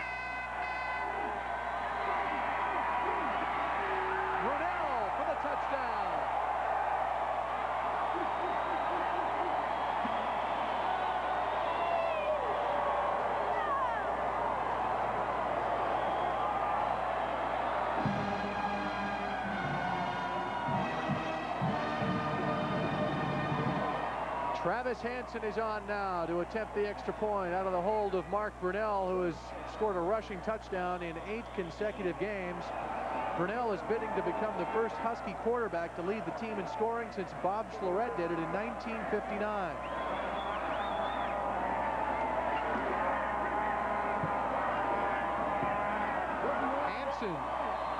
Boots it to the uprights, and Washington has taken a 34-3 lead over their cross-state rivals at Martin Stadium.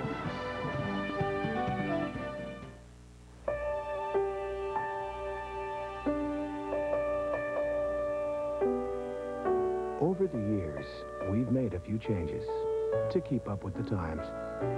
But some things about our beer never change. Like fresh hops from the Yakima Valley, the Northwest's finest malting barley, and pure water from the mighty Cascade Range.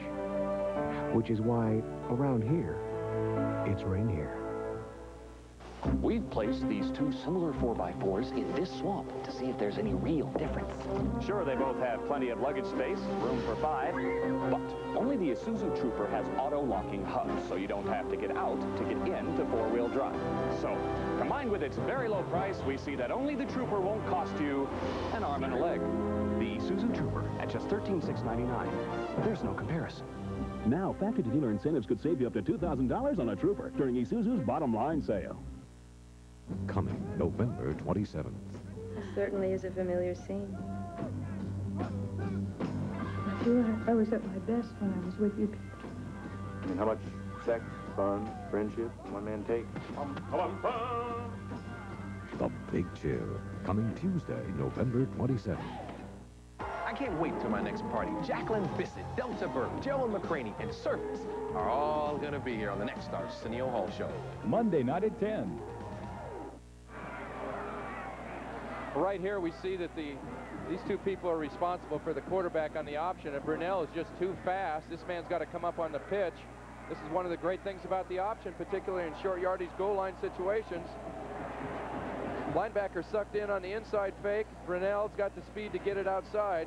Huskies could really be a dangerous, uh, they, I mean, they are a dangerous team, but they could be a dominating effect if they were an option team. Adds a real nice element to that offense. Jason Hanson's extra point broke the Husky school record for most points in a season. They've surpassed the 1986 mark. 1986 team scored 372 points. Huskies have now scored 373 in 1990. Most prolific scoring club in Husky football history. And uh, rather uh, Channing Wiles showing that he belongs in the same category on kickoffs as the, the Hanson brothers. Well, he's quite a competitor, too. He asked for a chance at the kickoff job, and uh, week after week did a fine job. He's had a chance to kick off a lot today. Another Husky scoring summary. The key play is Bailey's 27-yard reception on third down. Well, the difference between the team that's scoring touchdowns and those that are not, they're running the football, able to do so.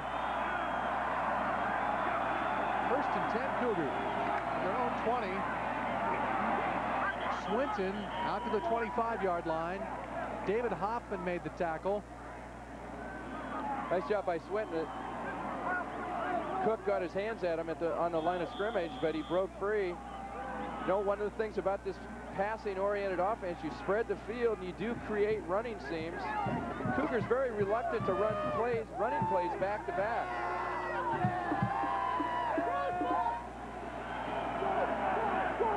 Second and five. Bledsoe will pass. Here comes the pressure. Steve Emtman is there first. And down goes Bledsoe back at the five-yard line.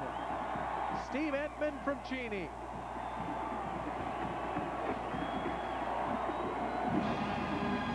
Well, right here you can see there's going to be a fake. Swinton's going to be wide open right there, but he is not a primary receiver. Therefore, Bledsoe's not looking for him, but if he'd had a chance to set his feet, you can see Swinton's wide open. A 20-yard loss on the play as Emtman sacks Bledsoe. So it's third and 25 now from the Cougar six-yard line.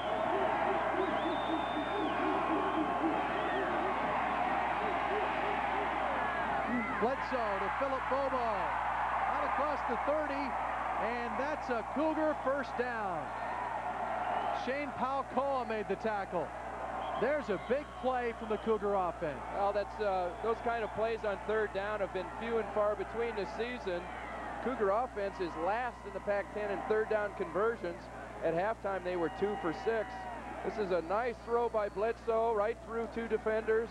Good job by Bobo. You know, if, if, if they're getting blown out of here, you couldn't tell it by the way that Bledsoe and Bobo are performing. They're, they're really competing. That's a 24-yard gain. And there is an injured Cougar in the end zone right now being tended to by Mark Smaha and the Bob Cougar Garman. training staff. Bob Garman, the right tackle.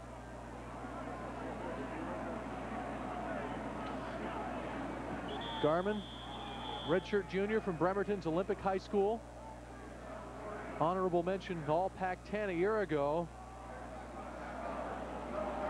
And while they tend to Garman as Coach Mike Price comes onto the field, we're going to pause for these messages. 8.50 to play, third period. Huskies with a 30, 31-point lead, and you're watching Apple Cup 90.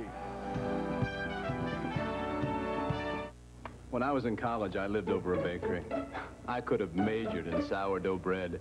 I'd open the window, that smell would come wafting in, and I'd be a goner. Now, Jack in the Box has taken a burger and put it on golden grilled sourdough bread. Time for a little homework. Sourdough makes the burger. The grilled sourdough burger at Jack in the Box. For exciting new taste, this is the place. I love this subject.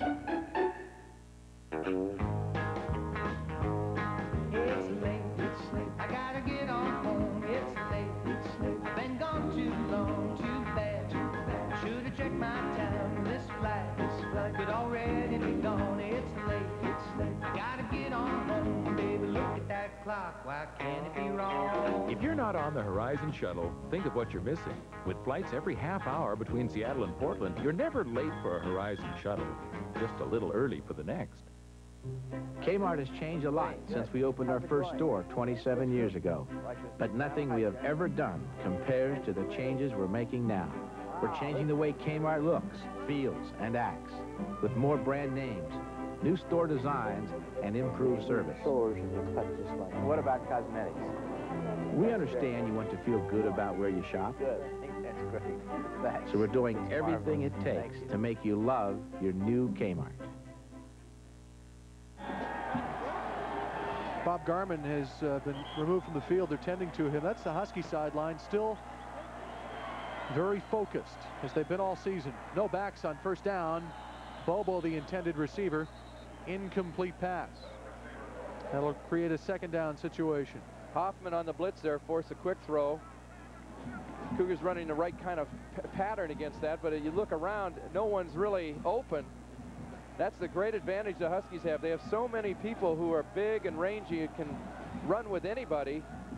They have the advantage the Cougars don't. They can get pressure, they can blitz and still be pretty effective covering people downfield. Garman's back up and walking around. You see him there, number 74.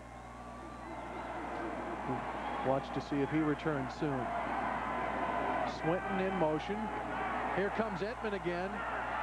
Bledsoe, incomplete. Trying to throw to Philip Bobo, and a penalty flag goes down. Well, they're lucky that ball was not thrown. That's one thing you don't like to see, a quarterback running to his right, throwing across his body, across the field. He's very fortunate this ball was not picked off. It's the kind of thing that you, a freshman quarterback will do. Hopefully by the time he gets a little bit uh, more maturity, will not make this kind of throw. Pass interference the call against Washington. You can see Hoffman's coming on the blitz again. Cook just misses him. And here's a throw. This takes a long time to get there, and you see it is interference. Had the Huskies seen played the ball, not the man, he probably would have picked it off. That'll move the ball out to the 36-yard line. Those are the kinds of things that a quarterback can find himself doing when you're way behind. You're trying to so desperately to make things happen, you don't use good judgment. First down from the 36-yard line after the pass interference call. Bledsoe, complete.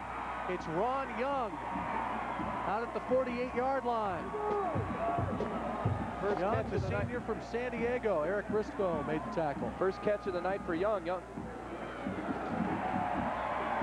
Another first down and a gain of 12 yards on the play.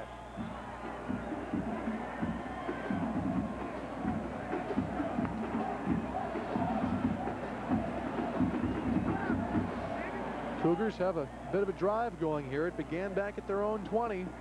They faced a third and 25 situation at one point. Swinton on play action, and there's John Cook.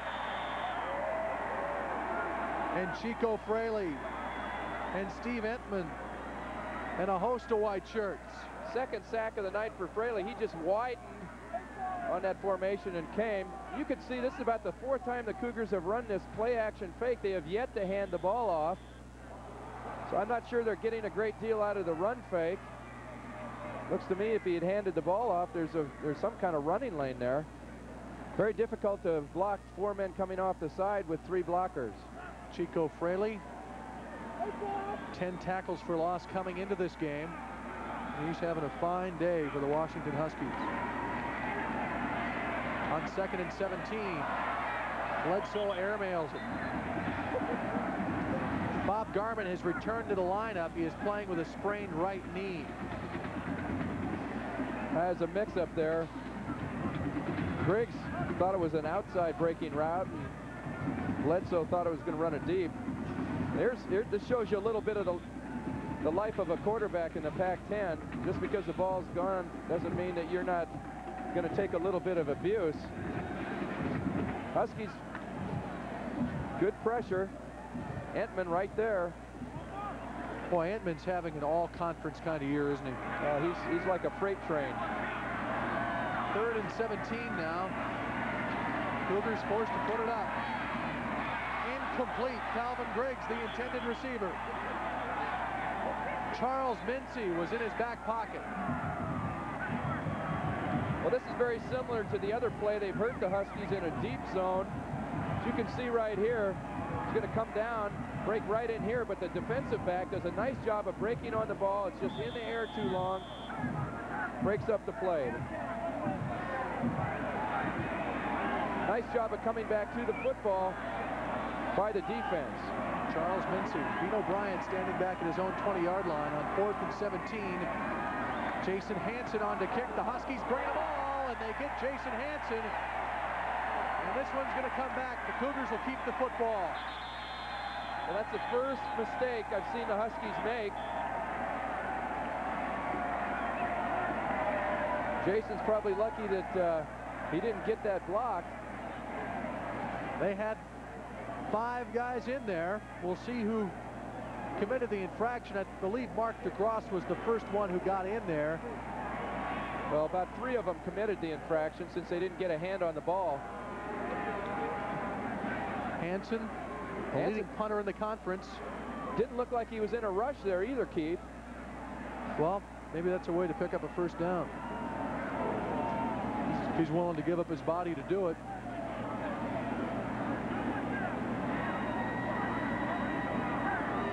Well, that's, as I said, that's really the first serious error the Huskies have committed all day. Roughing the kicker. And Washington State will move into Husky territory for the first time in the second half. Well, that's an example of where a, a, a penalty is not a, you know, they came very close to blocking that kick. Mm -hmm.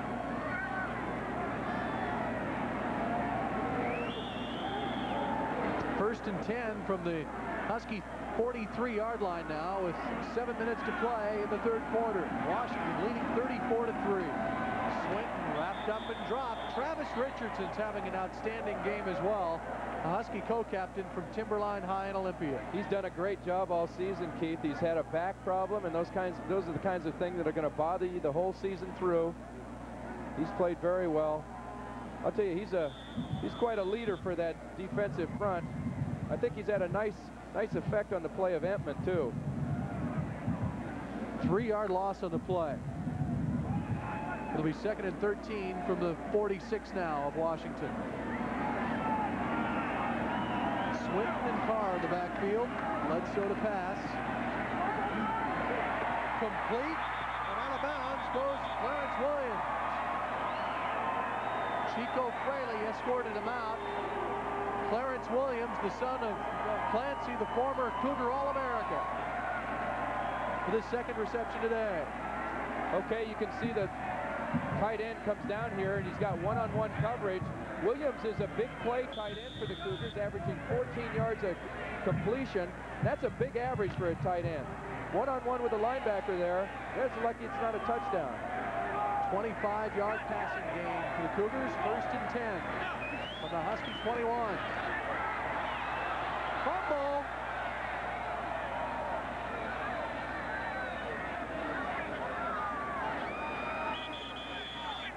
Well, Hoffman caused the fumble. Washington recovers. Chico Fraley in the bottom of the sack. And the Cougar drive is stalled. Well, the Cougars jumped into their formation with no backs in the backfield, which gives nobody any help up front blocking. You can see the Husky defensive line just coming like a big old wave. Hoffman on the blitz hits Bledsoe up there by the rib cage, and the ball comes loose. That's a sixth sack by the Huskies so far. And they take over first and 10 at the Husky 29.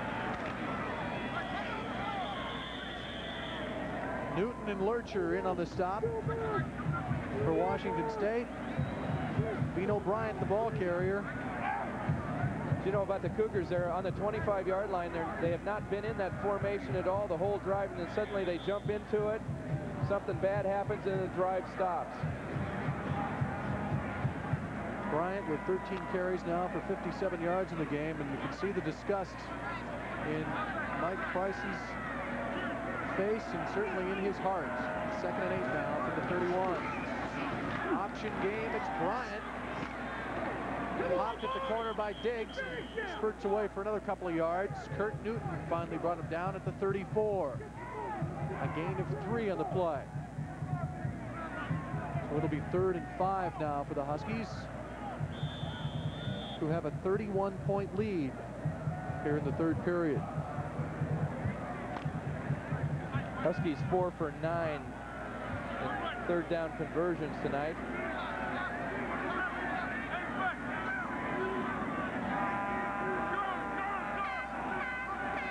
Third and four. Blitz coming. Knocked down and intercept. Oh, incomplete. Nearly intercepted. That was quite a play from Rod Plummer.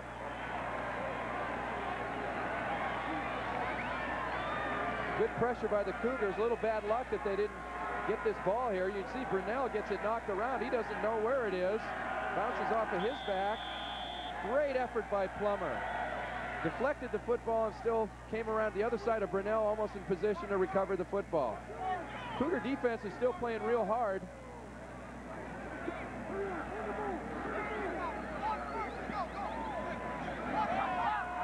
Channing Wiles on to punt for the Cougars. John Biggs is standing back at his own 25-yard line. Wiles with a good kick. Diggs will let this one go, and it'll fall into the end zone. 65-yard punt from Channing Wiles. Huskies with a 31-point lead, 4.40 to play, third period.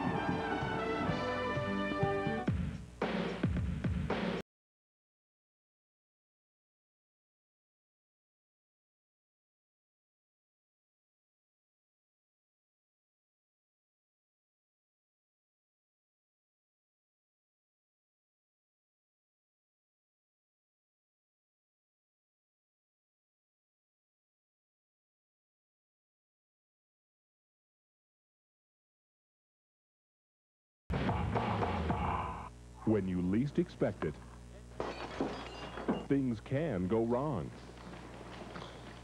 Putting your home and property at risk. With PEMCO Insurance, help always is just a phone call away.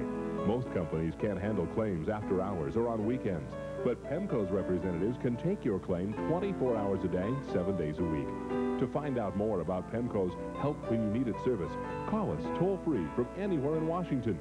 PEMCO Insurance.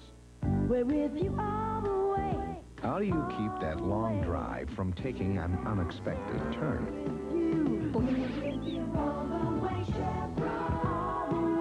Who can make the difference between just a trip and a vacation? Where do you go when Rover turns your picnic into his snack?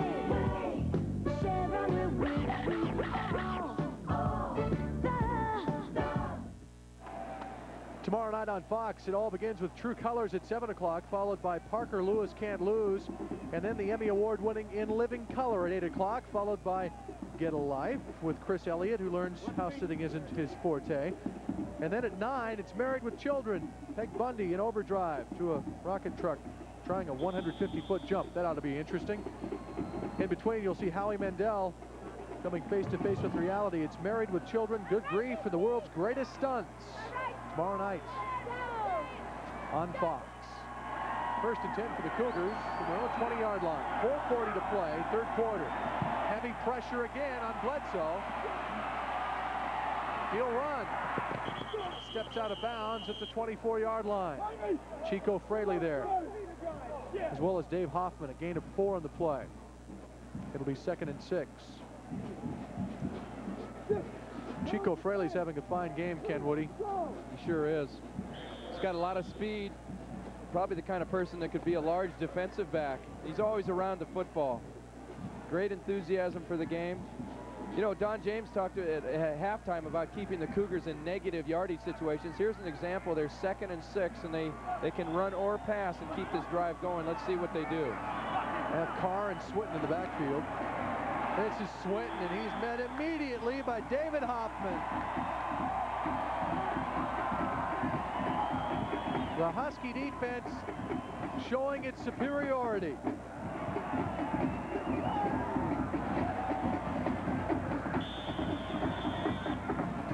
Loss of 10 on the play. Hoffman on the blitz makes the big play. Nobody's blocking him. He's not fooled at all, and that's that's good defense. Another angle on the play. That's just an example of the Husky defense guessing right, Cougars guessing wrong. Cougar pardon, a loss of four on the play, which creates a third and 10 situation for the Cougars. Bledsoe going upstairs, incomplete and pass interference will be called on Charles Mincy, and he doesn't like that call at all. Calvin Griggs was the intended receiver for Washington State. The Griggs had a step on Mincy. They just couldn't get away from him. And I don't know, it's real difficult to tell that there's uh, pass interference, and we get a chance to watch a replay here. You watch Mincy will just reach over the shoulder of Griggs. I, am not sure that that official was in position to make that call, Keith. That looked like a good defensive play. That's the second time that the Hus uh, Cougars have benefited from a Husky pass interference penalty in as many drives. Well, those old running game coaches used to say that whenever you throw three bad things can happen. Actually, you throw enough, some good things will happen too. That's the second questionable pass interference penalty on the Huskies so far. Cougars are moving the ball in the last quarter and a half. They're moving the ball pretty well between the 30 yard, the 20s, but uh, just can't get it into the end zone.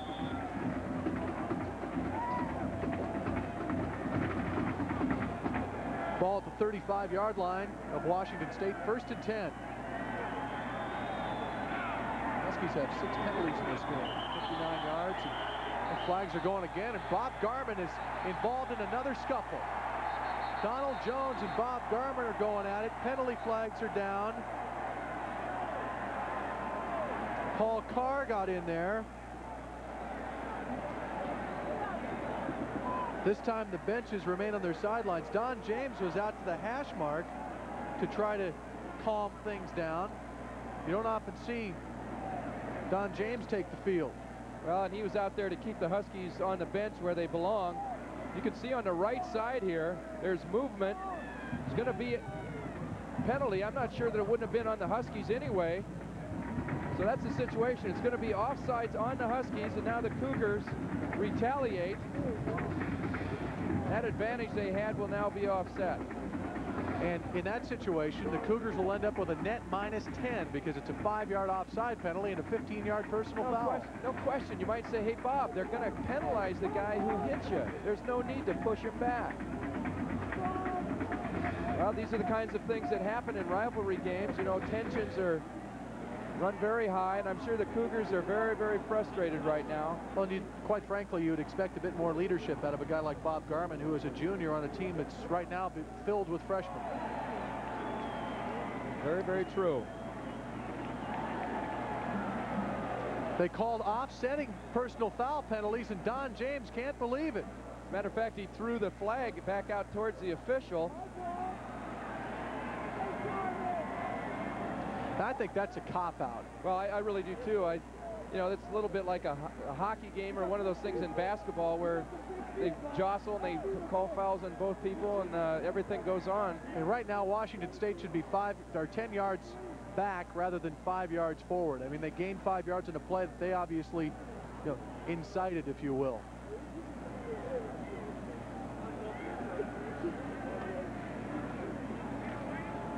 Well, I'm sure that Don James has given that official a, little bit of helpful advice. Might pull out a rule book. He helped write a lot of them. Mike Price's team looks at a first and five situation now. Ball on the 40-yard line. Bledsoe upstairs. Incomplete. Briscoe with coverage. And Ken, it's been a long time since Washington State has run the football. Yes, it is. Uh, you know, they, they, keep getting themselves in a kind of a negative situation. Here, it's second and five. They still could run the football. You know, first and five, run it two, three times and get a first down. They need to get some first downs. Whether they score or not is not so important as taking some time off the clock and giving their defense a break. This offense has continually put their defense in bad position all year round and several times tonight. Second and five now. Swinton and Carr in the backfield. Here comes the pressure. Penalty flag down. Intercepted. Charles Mincy driven down by Philip Bobo. Penalty flag is down in the play. It's likely a hold given the vicinity it was thrown within. And so the Huskies will likely take over here on the interception.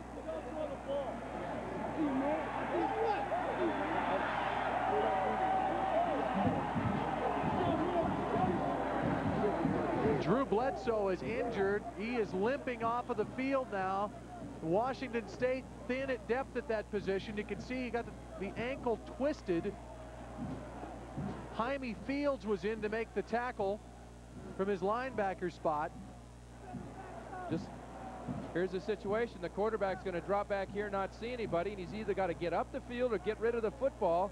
He's been doing this far too many times tonight, and this time it comes comes back to haunt him. There's nobody open. He's going to just throw the ball late, up for grabs to avoid the sack. Easy interception. Here's Beno Bryant on the option to the 30-yard line for a gain of one. From a depth standpoint, Washington State has one quarterback. Remember, Aaron Garcia was suspended for a game earlier this week for a violation of team rules. So Darren Burchak a junior from uh, Cle-Elum, who played a year at Boise State, is the only depth that Washington State has. Now, Mike Price has said he wouldn't hesitate at all to put Burchak in the game, but you know he doesn't want to do that. Well, we saw him in practice on Tuesday, and he looked a little rusty, so. Second and nine now. Brunell for Bailey, incomplete. And Husky fans want a penalty flag for pass interference there. Well, that was a good play by Wright, and that's very similar to the one that Mincy had on the sideline that was called interference. It'll be third and nine. Good coverage by the Cougars, brings up a third down. Brunell has gone without a completion in his last five attempts. There's Drew Bledsoe. We're not exactly certain what his injury is, but we assume it's a twisted ankle. And we are not as yet certain of his status for the remainder of this game. We'll try to get that word to you. Third and nine. Brunell escapes a tackle and is down to the 26-yard line. Jerron Woodley made the stop for Washington State. There is Darren Burchak.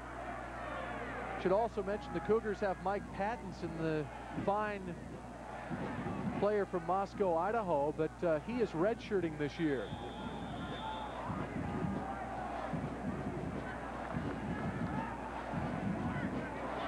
Fourth and six now, and Travis Hanson has come on for Washington. He will attempt a 43-yard field goal out of the hole to Mark Brunell.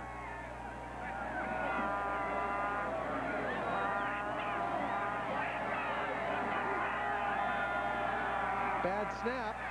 Brunell will throw, or at least try to. Brunell driven out of bounds at the 26-yard line. Chris Moton was there to escort him to the sideline. Kurt Loertscher is limping for Washington State now on his way back to the Cougar sideline. And Mark Brunell getting an earful from Jeff Woodruff. But he did the wise thing there. He didn't throw the ball up for grabs where it could have turned into something disastrous. Sure, that was the right idea. You know, he's he's got the speed to outrun these people. Very good job on the outside on the right-hand side of keeping contained by the Cougars. Loertscher was there. He does not make the tackle, but he strings it out long enough that Moton can get over there, and he puts a pretty good hit on him. Newton right there as well. The snap from Mark Kilpack appeared to be a bit high and inside if you're a It's not been a good night player. for snappers. Minute 36 to play, third quarter. First and 10 Cougars from the 26 of Washington State. Bledsoe back in the game. Throws behind his intended receiver, Calvin Griggs. Didn't appear to have any problem with that ankle as he stepped back to plant the ball, uh, No, plant he the pass. I'm sure that you're going to have to be really hurt to drag Drew Bledsoe off the field right now. You know, if, if you want to give a freshman a baptism of fire, this the last part of the season has been one for Drew. I think he's learned a lot of things about when to throw, when not to throw. He's got to get the ball off earlier. And he's learning a little bit about how to face, face adversity tonight. On second and 10. Going long, looking for Philip Bobo, and Bobo knocks the ball down. Well played by Dana Hall, the outstanding right cornerback, the junior from Diamond Bar, California. That ball went about 55 yards in the air.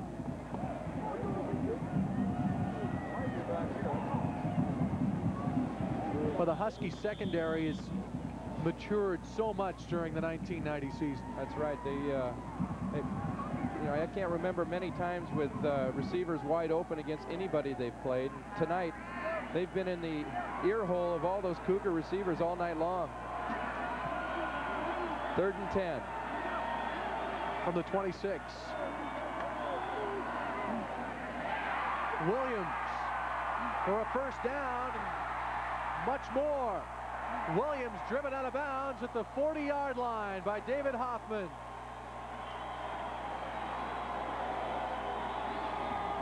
Thirty-two yard gain on the play.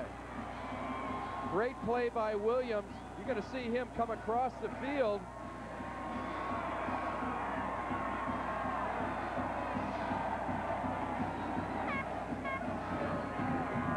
He has become the Cougars' most consistent receiver from This was a quick pattern across, situation. quick pattern across the field, designed to beat the blitz. It's kind of things you got to do to get rid of the ball quickly, give your quarterback a chance. Williams sixth in the Pac-10 in receptions this year. On first down from the 40, it's Swinton on the ground and out to the 39, and Dana Hall brought him down, and perhaps that's why we haven't seen the Cougars running the football much tonight. The Huskies just don't give up very many yards. They're ranked second in the country. They're ranked first in the Pac-10, surrendering 74.6 yards a game. For those of you little leaguers at home who saw that play, you watch this replay, you watch Dana Hall. This is how to tackle. This is great tackling technique by a fine athlete. Hits him, stands him up, open field tackle, gets his hands all the way around him and brings him down. A great tackle. Second and nine. Bobo over the middle. Down to the 15-yard line, and a penalty flag goes down. Drew Bledsoe and Mike Lustig are uh, having a few words with one another. The Cougars are inside the Husky 20-yard line.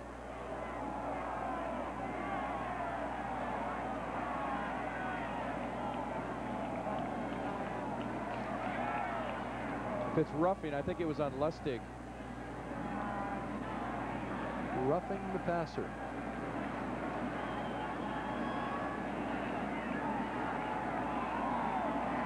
Cougars are hurting them with crossing routes now. Bobo across the middle. Ball's delivered very quickly. Again, Huskies are on a blitz. Nice move to turn the Hall around. And now, you know, the Cougars are beginning to move it now as they start throwing the ball quickly instead of those deep routes. Philip Bobo having his calves attended to. He might just uh, have a Charlie horse or something in this cold weather. Let's hope that's all it is.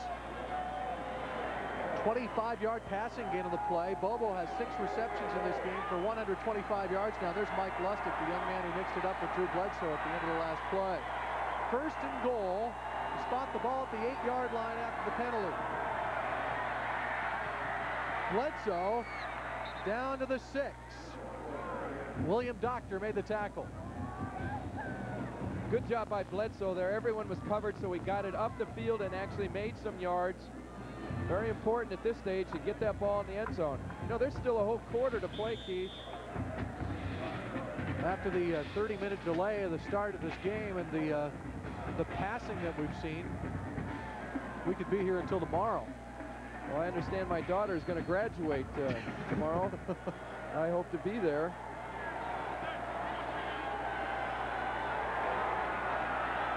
This will be the final play of the first quarter. First time the Cougars have gained yardage in the last eight rushing plays. Bobo incomplete. And that's the end of the third quarter of play here at Martin Stadium in Pullman. The Washington Huskies added to their 27-3 halftime lead with a touchdown pass from Mark Brunell, actually a touchdown run from Brunell. We'll be back in just a moment. If money were no object, what would you want in a car? Guts. Muscle. Just look beautiful. You know, uh... Slick. Sleek. Something a little bit different. Four doors. I can't fly. Luxury. Style. All the comforts of home. Everything. Well, money is an object, which is why we created the all-new Nissan Sentra, recently selected by Road and Track as the best sedan under $10,000. Nissan, it's more than a car. It's an attitude. Right. What would you say if Pizza Hut served up fully loaded Supreme pizzas for the never-before low price of just $6.99 each? Oh, baby, that's what I like! It's the Holiday Feast deal. Get up to five Supreme pizzas each for just $6.99. Oh, baby, that's what I like! The Supreme Pizza with six of your favorite toppings at a price you're really gonna like. So this holiday season, hurry into Pizza Hut for the deal that's got everyone saying. Oh, baby, that's what I like!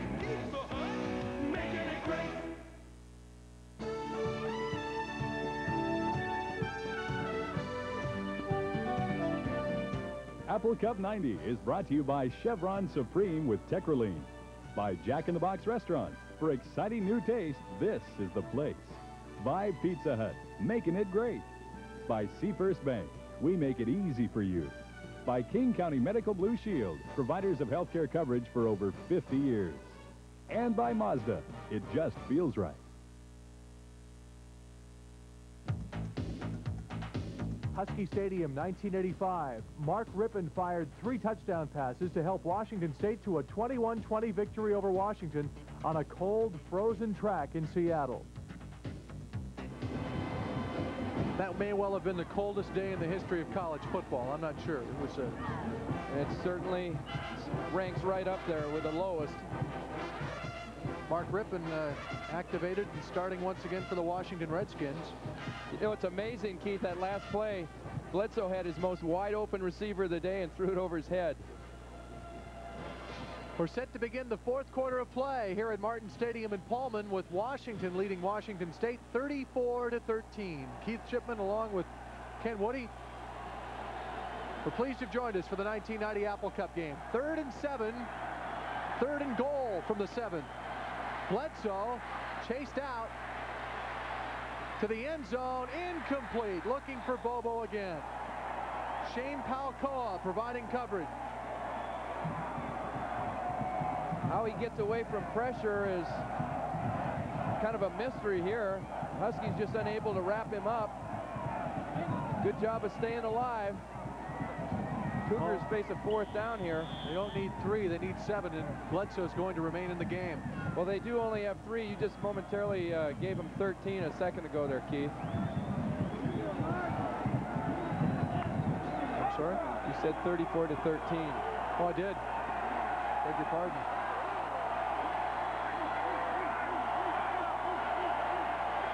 On fourth and goal.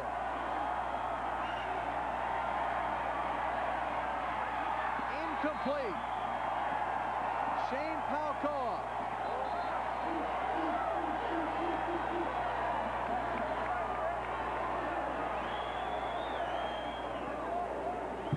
Well, the Huskies have the most efficient pass defense in the conference, and they show you why here. Whenever that ball comes to a receiver, there's a pile of Huskies around it.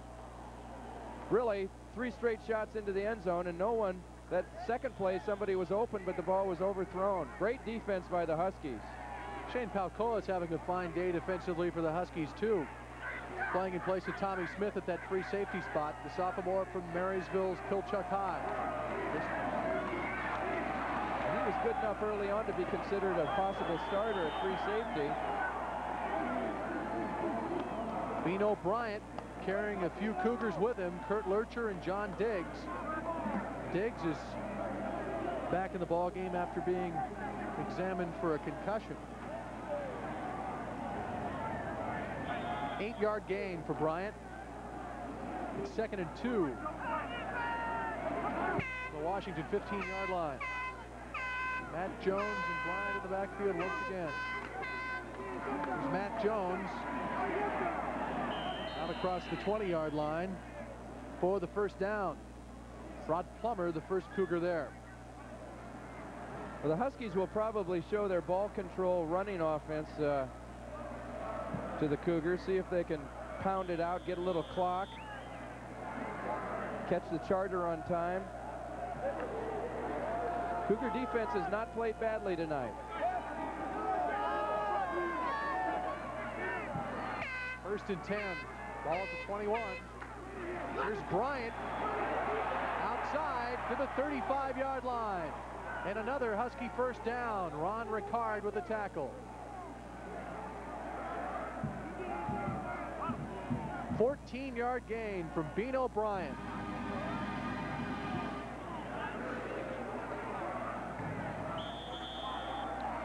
Here's a replay. You can see uh, ball given to Beno Bryant. He's got excellent vision, gets the ball on the outside hand away from the tacklers. Only a last last gasp tackle by Ricard keeps him from going the distance. Bryant 17 carries for 84 yards now. Brunell complete.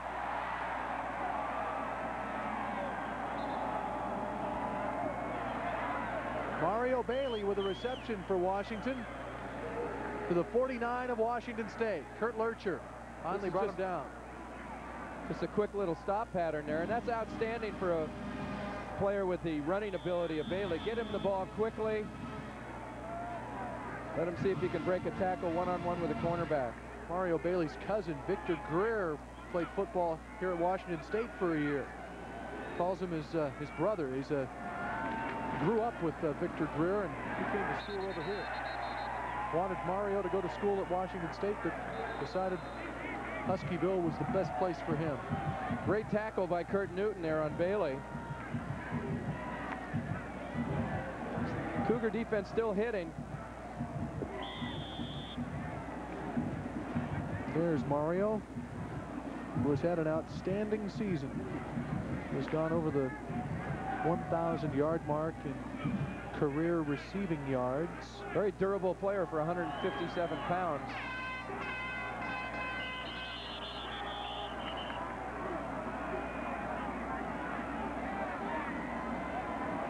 Penalty flags.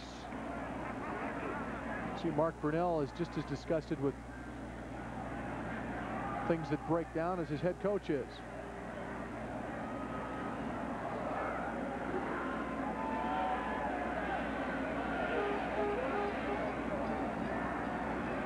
Cougars are called for the offsides here. He's upset because they don't get a chance to run that play. Probably thought they're going to make more than five yards.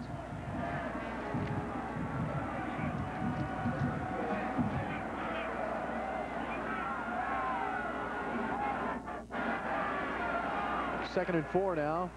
It's Matt Jones for the first down, still on his feet inside the 35, down to the 33-yard line. John Diggs and Chris Moton make the tackle. Matt Jones is running hard tonight as well. Young man from Portland Central Catholic High School. Huskies have a lot of depth at running back. Fullback, they got two outstanding fullbacks, guys that can block and hit the hole quickly. Got a lot of guys named Jones on this team too, Keith. And They can all play. Matt Jones, Mark Jones, Donald Jones. First and 10. Ball at the 33-yard line now. Here's Beno Bryant. Down to the 31.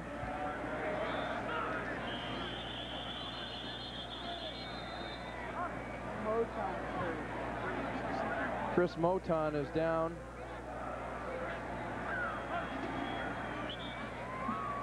Moton playing in his final game as a Cougar. He's had quite a career. Last name, last year named to the All-Conference Academic Team. It's quite an honor. He's one of the senior class that was recruited by the Jim Walden coaching staff. One of nine players remaining from that club. Last year you coached at Washington State as well. Yes, and when Chris came in, he was uh, very aggressive, punishing tackler. You know, he's, he's been kind of in a difficult situation. He's, he's not quite big enough to be a linebacker, and he's not quite fast enough to be a great defensive back. So the Cougars have had to kind of move him around several positions in his career. He's going to uh, do his student teaching at Lewis Clark High School in Spokane this coming winter. And he says he's going to student teach only. He's not going to coach a thing. He wants to get away from athletics for a while. There's Husky head coach Don James. And we'll uh, have an opportunity to visit with the head coach of the Huskies tomorrow morning on Husky Highlights with Don James. We'll take your calls to the head coach and review the Apple Cup game. Tomorrow morning at 10 on KCPQ 13 Fox.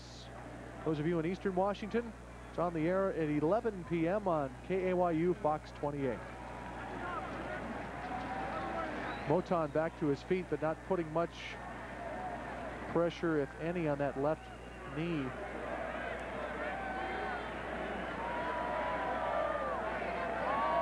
Huskies will break the huddle and look at a second and eight situation now at the 31-yard line of Washington State.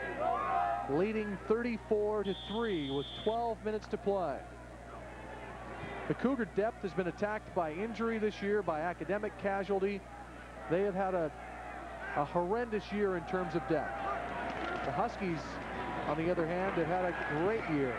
Beno Bryant, John Diggs tripped him up, and as Don James said, when when you're winning, trainers aren't as busy. That's right. You know, everybody wants to be healthy, and hopefully uh, Tommy Smith uh, withstanding, you know, everybody wants to be eligible so they can experience all those things. Smith will be back for the Rose Bowl. It was a one-game suspension. Shane Pahukoa has played very well in his absence tonight. When you look at a, a, guy like Jaime Fields, too, defensively for the Huskies, who uh, was injured early in the season, and it's tough for him to get back in the lineup now as Brett Collins is having a career year. First and 10 for the Huskies. Beno Bryant. John Diggs with the tackle for Washington State. And Bryant is just churning out yards for the Huskies. He has just reached the 100-yard mark. The Cougar, de Cougar defense is starting to get worn down a little bit here. You can tell they're just not getting off blocks as they were in the first half, and Diggs has to make the play again. If he doesn't, Bryant's going to end up in the end zone. Huskies beginning to show their dominance up front on the offensive side of the football. Bryant tripped up at the eight-yard line. Michael Wright. John Diggs for Washington State. We've said their name a lot today as that Husky offensive line has just been making huge holes for their backs to run through. Well, they're making huge holes, but people are getting, the linebackers are getting picked off. You see McClanahan steps up and gets sucked in. They're, they're, it's as if they're playing without linebackers. The defensive backs are having to make all the tackles. Those are all going to be gains downfield by the time they catch up to the ball carrier. First and goal from the eight-yard line. Kurt Newton made the tackle. And Matt Jones was the ball carrier.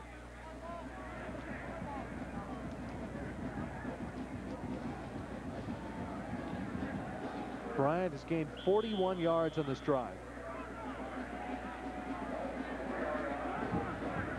I think he's answered a few of those questions about the importance of Greg Lewis in the lineup. Certainly Lewis is very important, but Beno Bryant is playing real hard for him, and he wears the armband today to salute Greg. Bryant inside the five.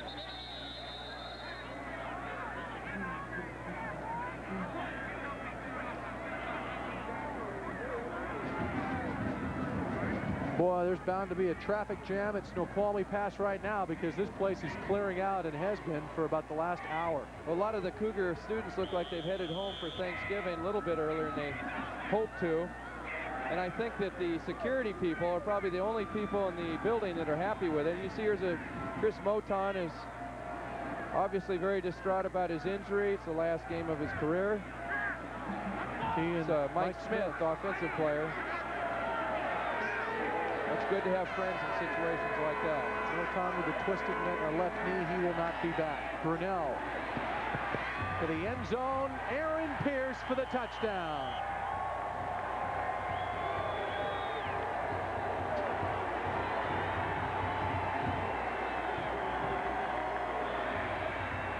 It becomes almost methodical for Washington's Yes. offense. They have done it all year. And they have reached the 40-point mark once again. They've averaged 40 points and 400 yards in conference play. There's going to be offensive holding right here. You watch Kirkland pull out. And he has a, grabbed a hold of the outside linebacker of the Cougars. Get a chance to see him. He is Travis Hanson adds the extra point for Washington. And the Huskies have built their lead to 38 points. 8.40 to play in the ball game. Pleased to join us for Apple Cup 90 from Martin Stadium in Pullman.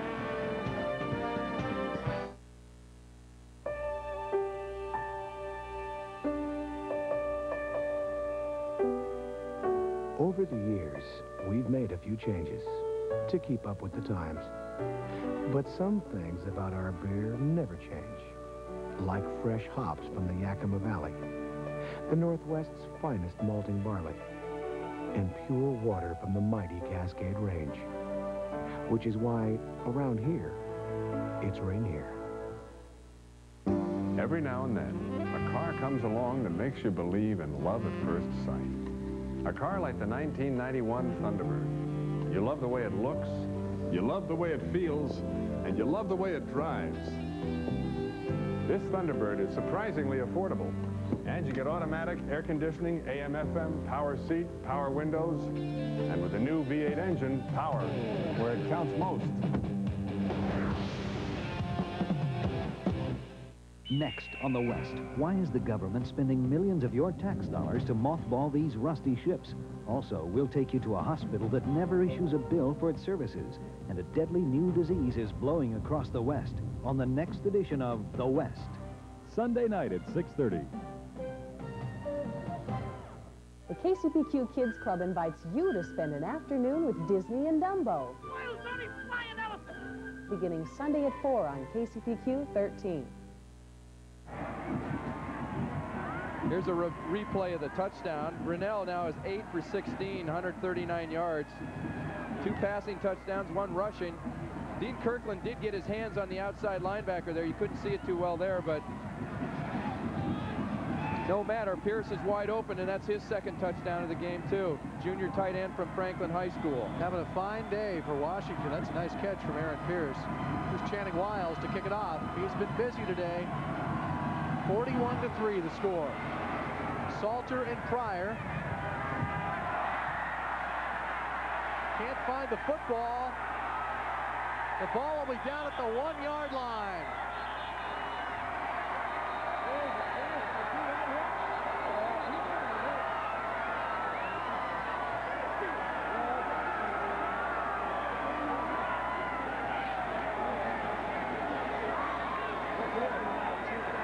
Jamal Fountaine was in there to make the play. Rodney Scott eventually recovered the football. Not too good a judgment by Salter there. He was out of control, misjudged the football. And he couldn't find it. Lucky there wasn't a blown knee right there. Mark DeGrasse along with Jamal Fountaine. Huskies are not letting up, that's for sure. First and 10, the ball's on the one-yard line.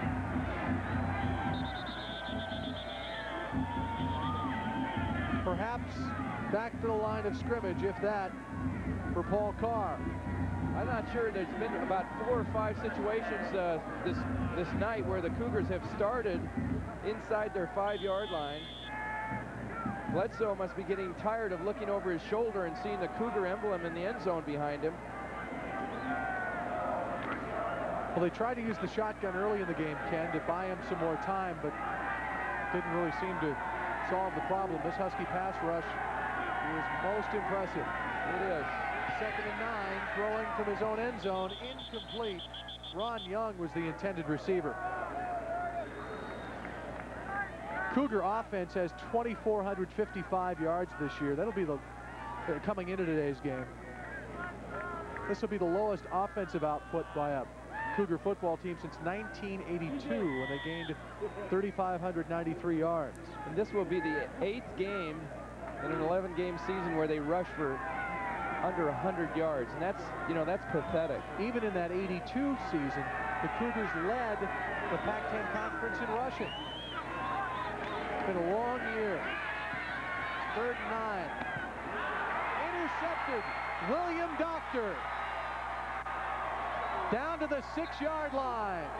The Huskies had intercepted a pass in each of the past three Apple Cups and had gone for touchdowns, and William Doctor smelled one there, but he was driven out of bounds before he got to the end zone.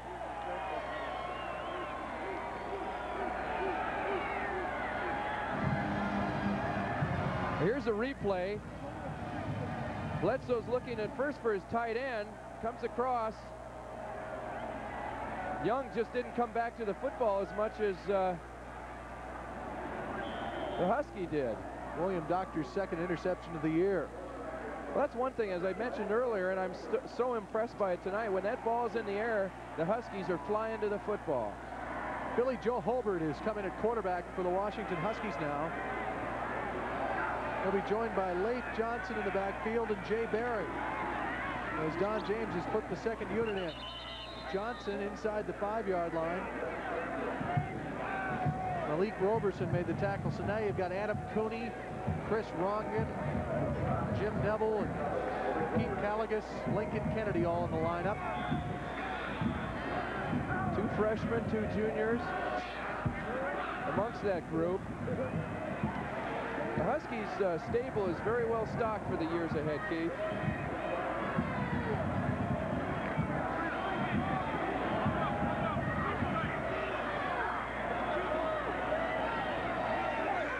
goal from the four. Jay Barry down to the one-yard line. Kurt Newton made the tackle.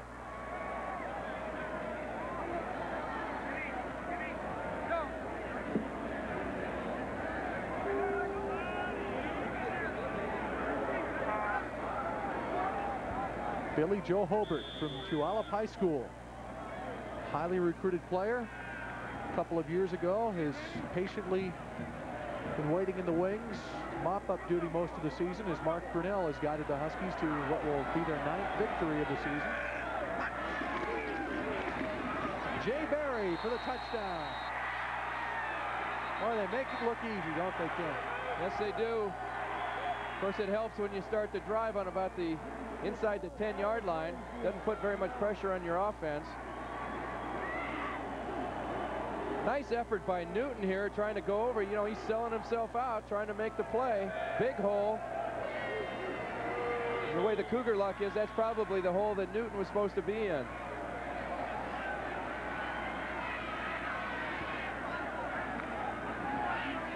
Jay Barry.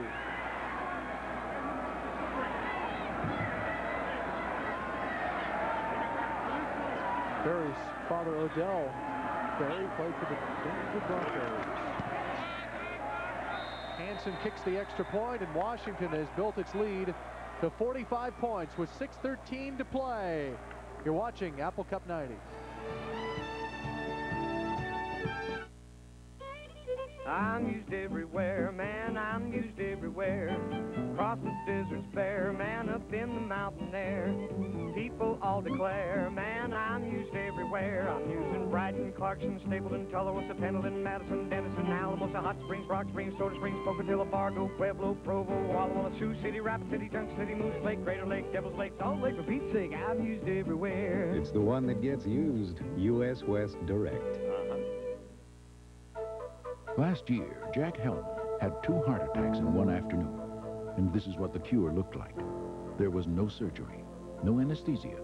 Instead, a tiny balloon was inflated inside his heart to open up a blocked artery. It was painless, but the $20,000 it cost wasn't. At King County Medical, we'd like you to think about that. Because while the cost of health care may seem a little hard to take, according to people like Jack Hellman, it certainly beats the alternative. Life, take one.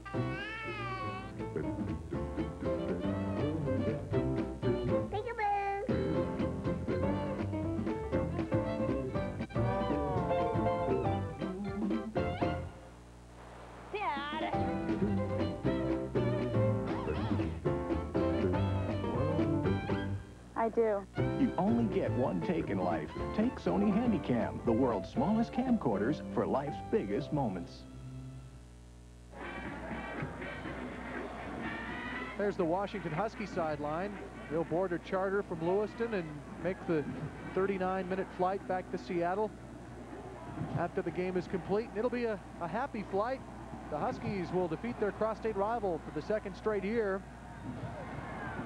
It's 48 to 3 right now. 6 minutes 13 seconds left to play after Jay Barry scored from a yard away.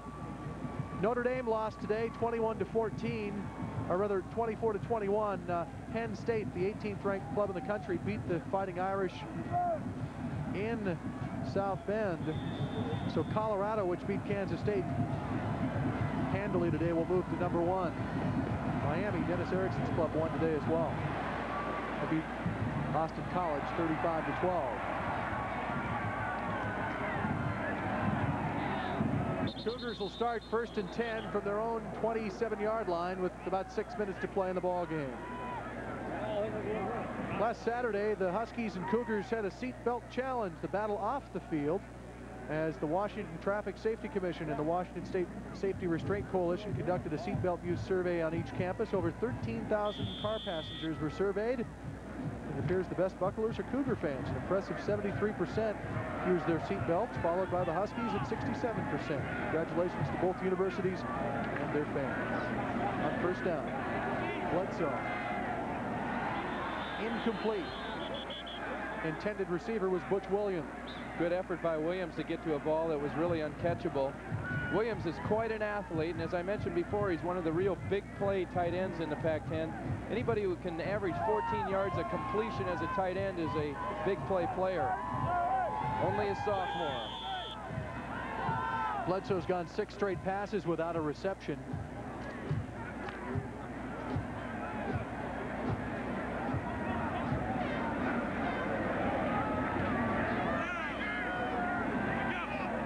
On second and 10. Philip Bobo. Very near a first down. One thing about this, the Huskies have harassed and, and really physically dominated Bledsoe, but they have not intimidated him. He's hung in there, still seems to be very cool and calm. He's made a couple of judgmental errors that you might chalk up to inexperience. Hopefully for the Cougars, they'll work that out, much like Timm Rosenbach did his junior year when he was a quarterback. 19 interceptions. Said that was a great learning experience for him. Well, Drew Bledsoe's had a great learning experience so far tonight. First and 10. Ball at the 38-yard line. Bledsoe going long. Intercepted. Paxton Talele picked off the pass. The junior from Hawaii.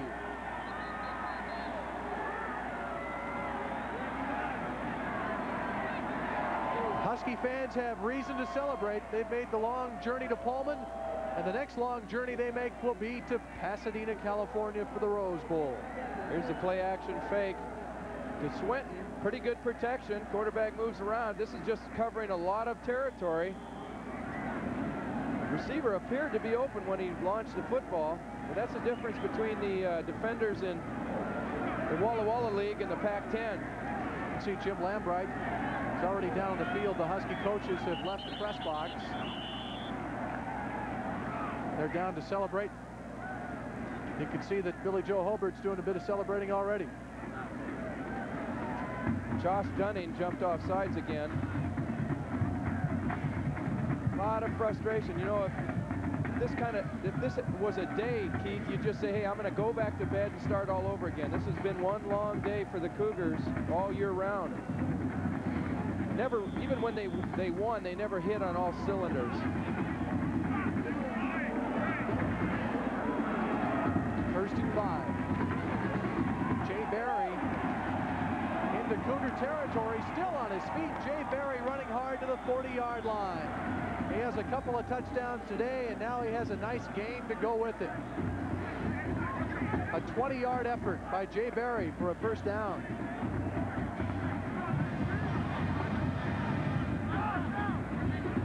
Husky second unit is playing very well right now.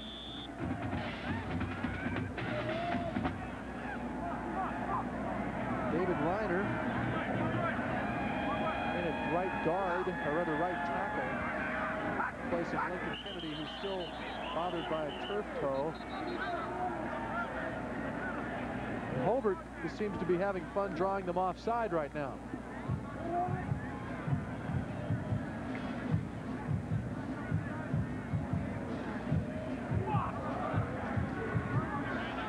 So it'll be first and five now for the Washington Huskies. Well, for a while there, we thought this was going to be a big game and perhaps a story of the week, but now it just looks like it's Milli Vanilli, huh? Yeah, it's... oh, man. You know, it's amazing. The score is very similar to the Arizona State game, but the quality of the Cougar effort has been so much better tonight.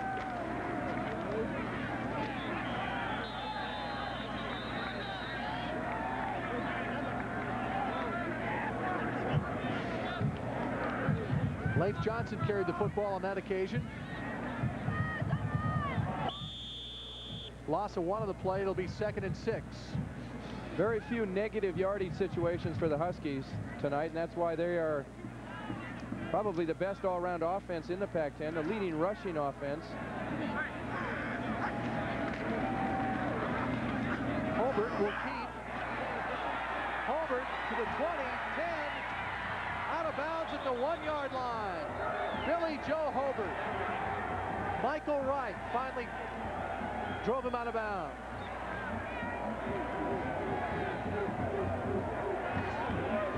Starting right now. 35-yard gain from Billy Joe Hobert. Here's an example of Hobert faking out Malik Robertson, who's got quarterback. That's just a great job by an option quarterback. I'll tell you what, the Huskies remind me of the Cougars back in 82 running the option.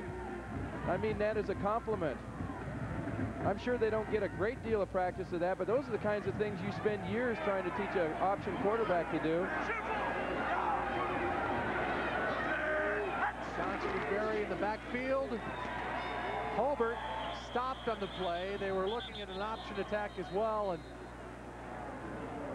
he'll be dropped for a loss of a yard. Not so fast, Billy Joe. They tried the same thing, and Cougars, any best chance of defending an option is to keep your linebackers free and get an extra man outside who can play the quarterback and the pitch. Cougars did a nice job there. Huskies scored 54 uh, four points two weeks ago against Arizona, which was their highest output of the season. Touchdown here would give 55. Jay Barry into the end zone for his third touchdown of the afternoon, his second of the quarter. It comes with 3.54 to play.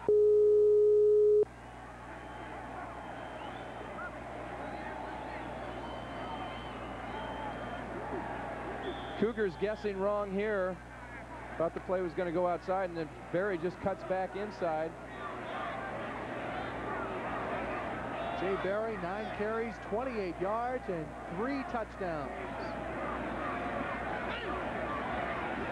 Here's Travis Hanson. Splits the uprights once again. And the Washington Huskies have extended their lead to 52 points with 3.54 to play at Martin Stadium in Pullman.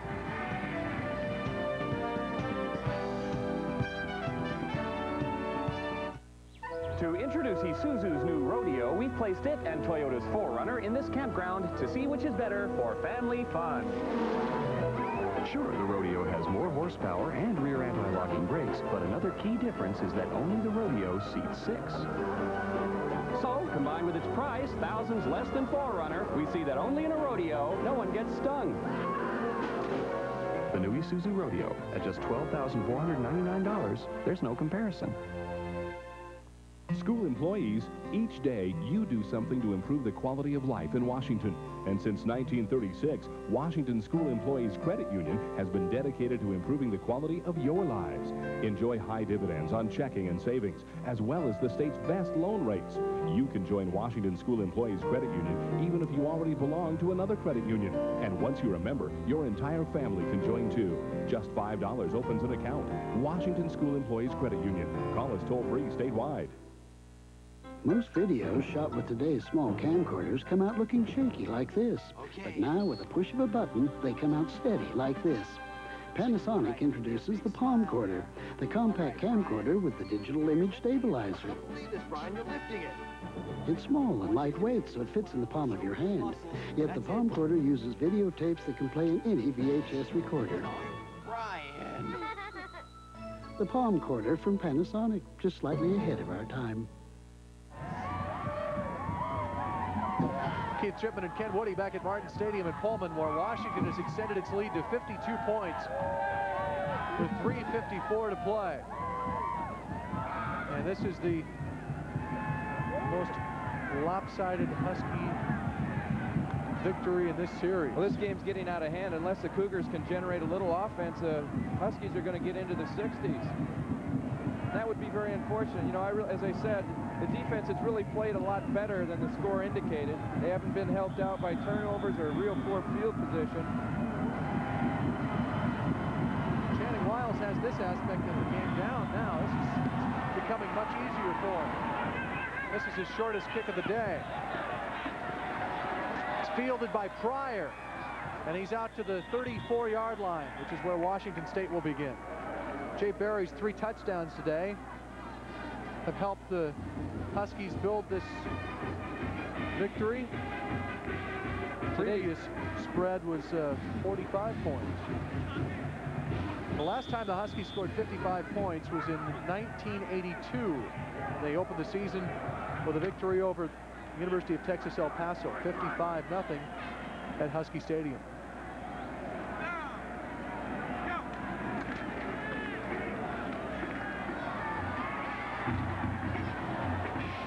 There's a big time hit. Paxton Talele put a lick on Richie Swinton.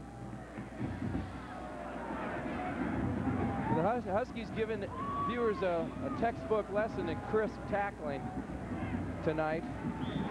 Again, you know, everyone talks about how great their athletes are, how much speed they have, but I'll tell you, when they get to the football, they tackle as well as any defense I've seen in a long time. And they've held the Cougars to net minus 54 rushing in this game. And now Mike Price is just saying, let's get it over, keep it on the ground. Swinton to the 49 of Washington. checking to see the last time the Washington State did not score a touchdown. Long time ago, I know that. Perhaps Colorado and looking at that situation right now with three minutes to go. Well, they have run the ball on two straight plays, which is the first time tonight they've done that, Keith. That's somewhat of a concession, one would think. Well, you might look at it as a positive sign for the future. Second and seven from the 49. Swinton out of bounds at the 35 of Washington. Dana Hall drove him out of bounds. You know, we talk about the rushing offense. Two years ago, the Cougars had the best offensive team they ever had in their history. They had two 1,000-yard rushers in a one-back offense. You know, whether you are a great rushing team or not, you've got to run the ball, take the pressure off your offensive line, take some clock off. Don't put your defense continually in the bad holes that this uh, passing-oriented offense has done so far this year. I'm keeping track now. That's three running plays in a row. Thank you.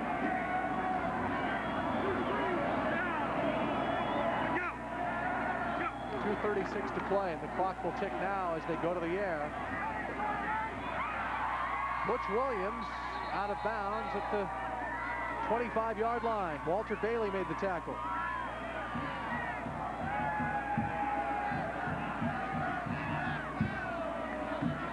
Clock is stopped as they move the chains.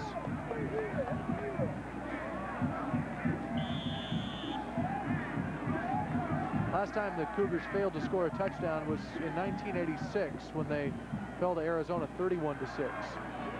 Game played here at Martin Stadium. Two field goals. Pair of John Trout upright splitters. This is Rich Swinton. He may go. Swinton, touchdown Washington State.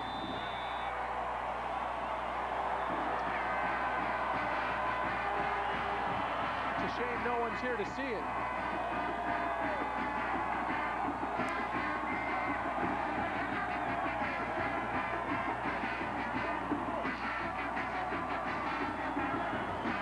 The Huskies are going to win this football game today in total domination, but there's still a little bit of spirit in the Cougar hearts. Mike Price probably wishes that he had a 46-point extra point play. well, 47, so he could get the lead. The power of but I'll tell you right thinking. now, if I were him and I could add a shot at a tie, I'd take it. Jason Hanson on for his extra point, and it is good. 55-10 our score with 2.21 to play in the final period. Rich Swinton with a 24-yard touchdown run. As I said, hopefully they uh, look at that last drive and say uh, maybe we should run the ball a little bit more often. Great job by Swinton, who was a 1,000-yard rusher two years ago. He just hasn't had a lot of chances this year to show his stuff. And this is his final game as a Cougar. And I'll tell you what, that touchdown run was not scored against a bunch of, you know, raw reserves either. There's some real good football players out there. There are a lot of teams in this conference that would like to have Washington's second team defense. Or third.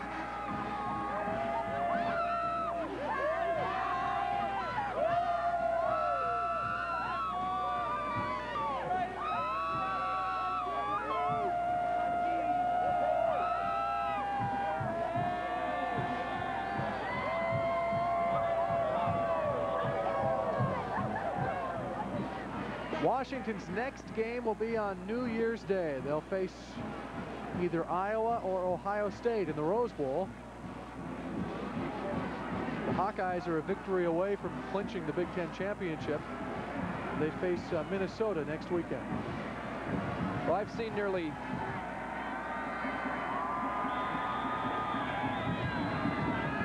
You've seen nearly I was going to say all the teams in the Big Ten, and I don't think there's anyone that can stand up to the Huskies. You never know on a one-game basis, but Here we go, here we go, go, go, go, go, go. Travel arranged through Continental Airlines, serving Seattle's business needs with convenient daily nonstops to Newark. Continental, the airline to New York. 221 to play in the football game. Keith Shipman along with Ken Woody. We are pleased you have endured Apple Cup 90. It's been a long, long game, particularly if you're a Cougar fan. Husky fans can celebrate and relish a 9 and 2 regular season campaign with an opportunity to win a 10th game in the Rose Bowl against either Iowa or Ohio State on New Year's Day. Well, we can see the security people uh, stretching out to not sure they're going to protect the goalposts or make sure that a fight doesn't break out. You know, tempers have flared several times tonight. I'm sure maybe that touchdown uh, may have taken an edge off of some of the aggressive attitudes of any frustrated Cougar fans or players. First and 10 from the 15-yard line. Billy Joe Hobert at quarterback.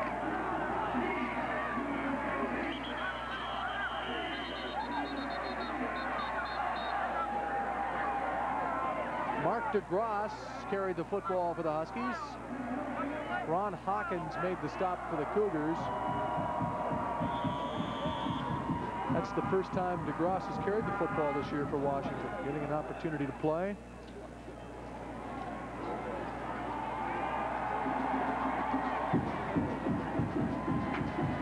Clock running with a minute 50 to play, and they're going to try to use up every second of that 25-second clock and get this thing over with.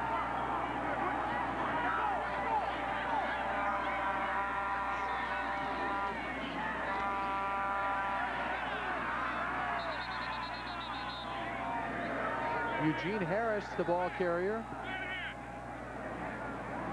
Forward for a couple of yards. Seventh-ranked Texas beat Texas Christian today. Big win for Florida. As Notre Dame is uh, out of the number one spot after falling today to Penn State. Virginia upset by Maryland. Eastern Washington, uh, easy prey for Houston today. Joe Hobert on the corner. Down at the 27-yard line with 54 seconds left. Vince Saldivar made the tackle. Hobert is big and strong, and not many people going to take him down one-on-one. -on -one. It's going to take more than one player. Cougars struggling to get there. Huskies look content just to fourth down right now. Let the clock run down as long as possible. The first time the Hobert's going to punt. First time the Huskies have had to punt in the second half.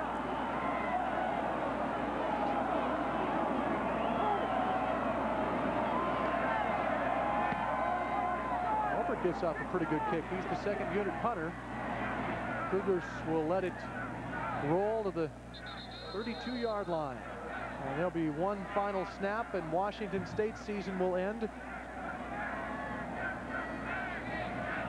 with a three and eight mark. And Washington will go to nine and two overall on its way to Pasadena on New Year's Day.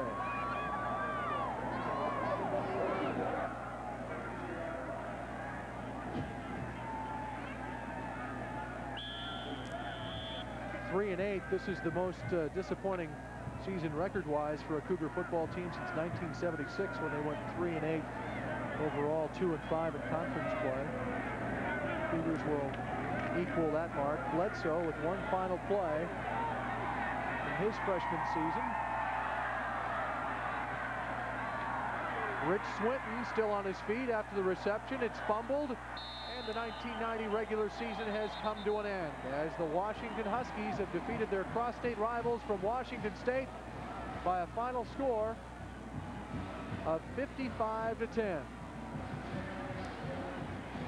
Mike Price on his way out to congratulate Don James. And everyone extends their congratulations to the head coach of the Huskies. He's put together a fine football team. In 1990, Pacific 10 Conference champions. They'll represent the Pac-10 in the Rose Bowl.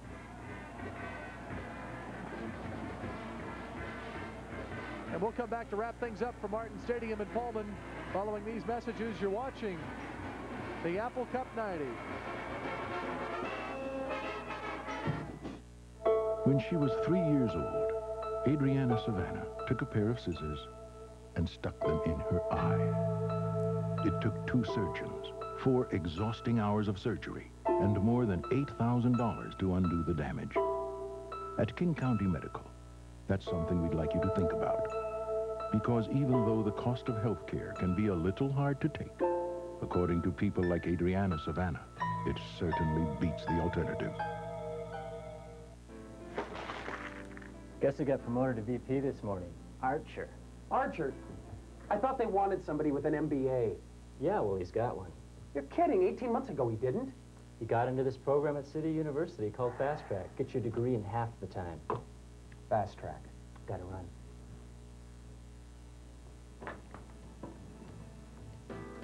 City University, please. Fast Track at City University. Convenient night classes for professionals who know the value of time.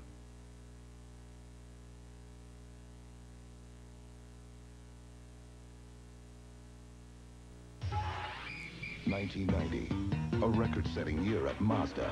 The Miata, the new Navajo. Thousands of new owners feeling just right. It's your turn now. You can save with factory-to-dealer incentives. Save with special options packages. Save up to $25.75. Mazda, there's no stopping us now. With deals like these, there's no stopping you.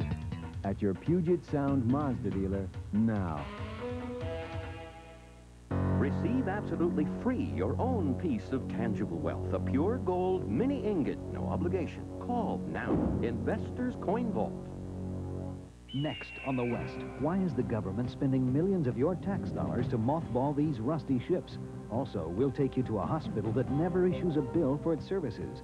And a deadly new disease is blowing across the West on the next edition of The West. Sunday night at 6.30.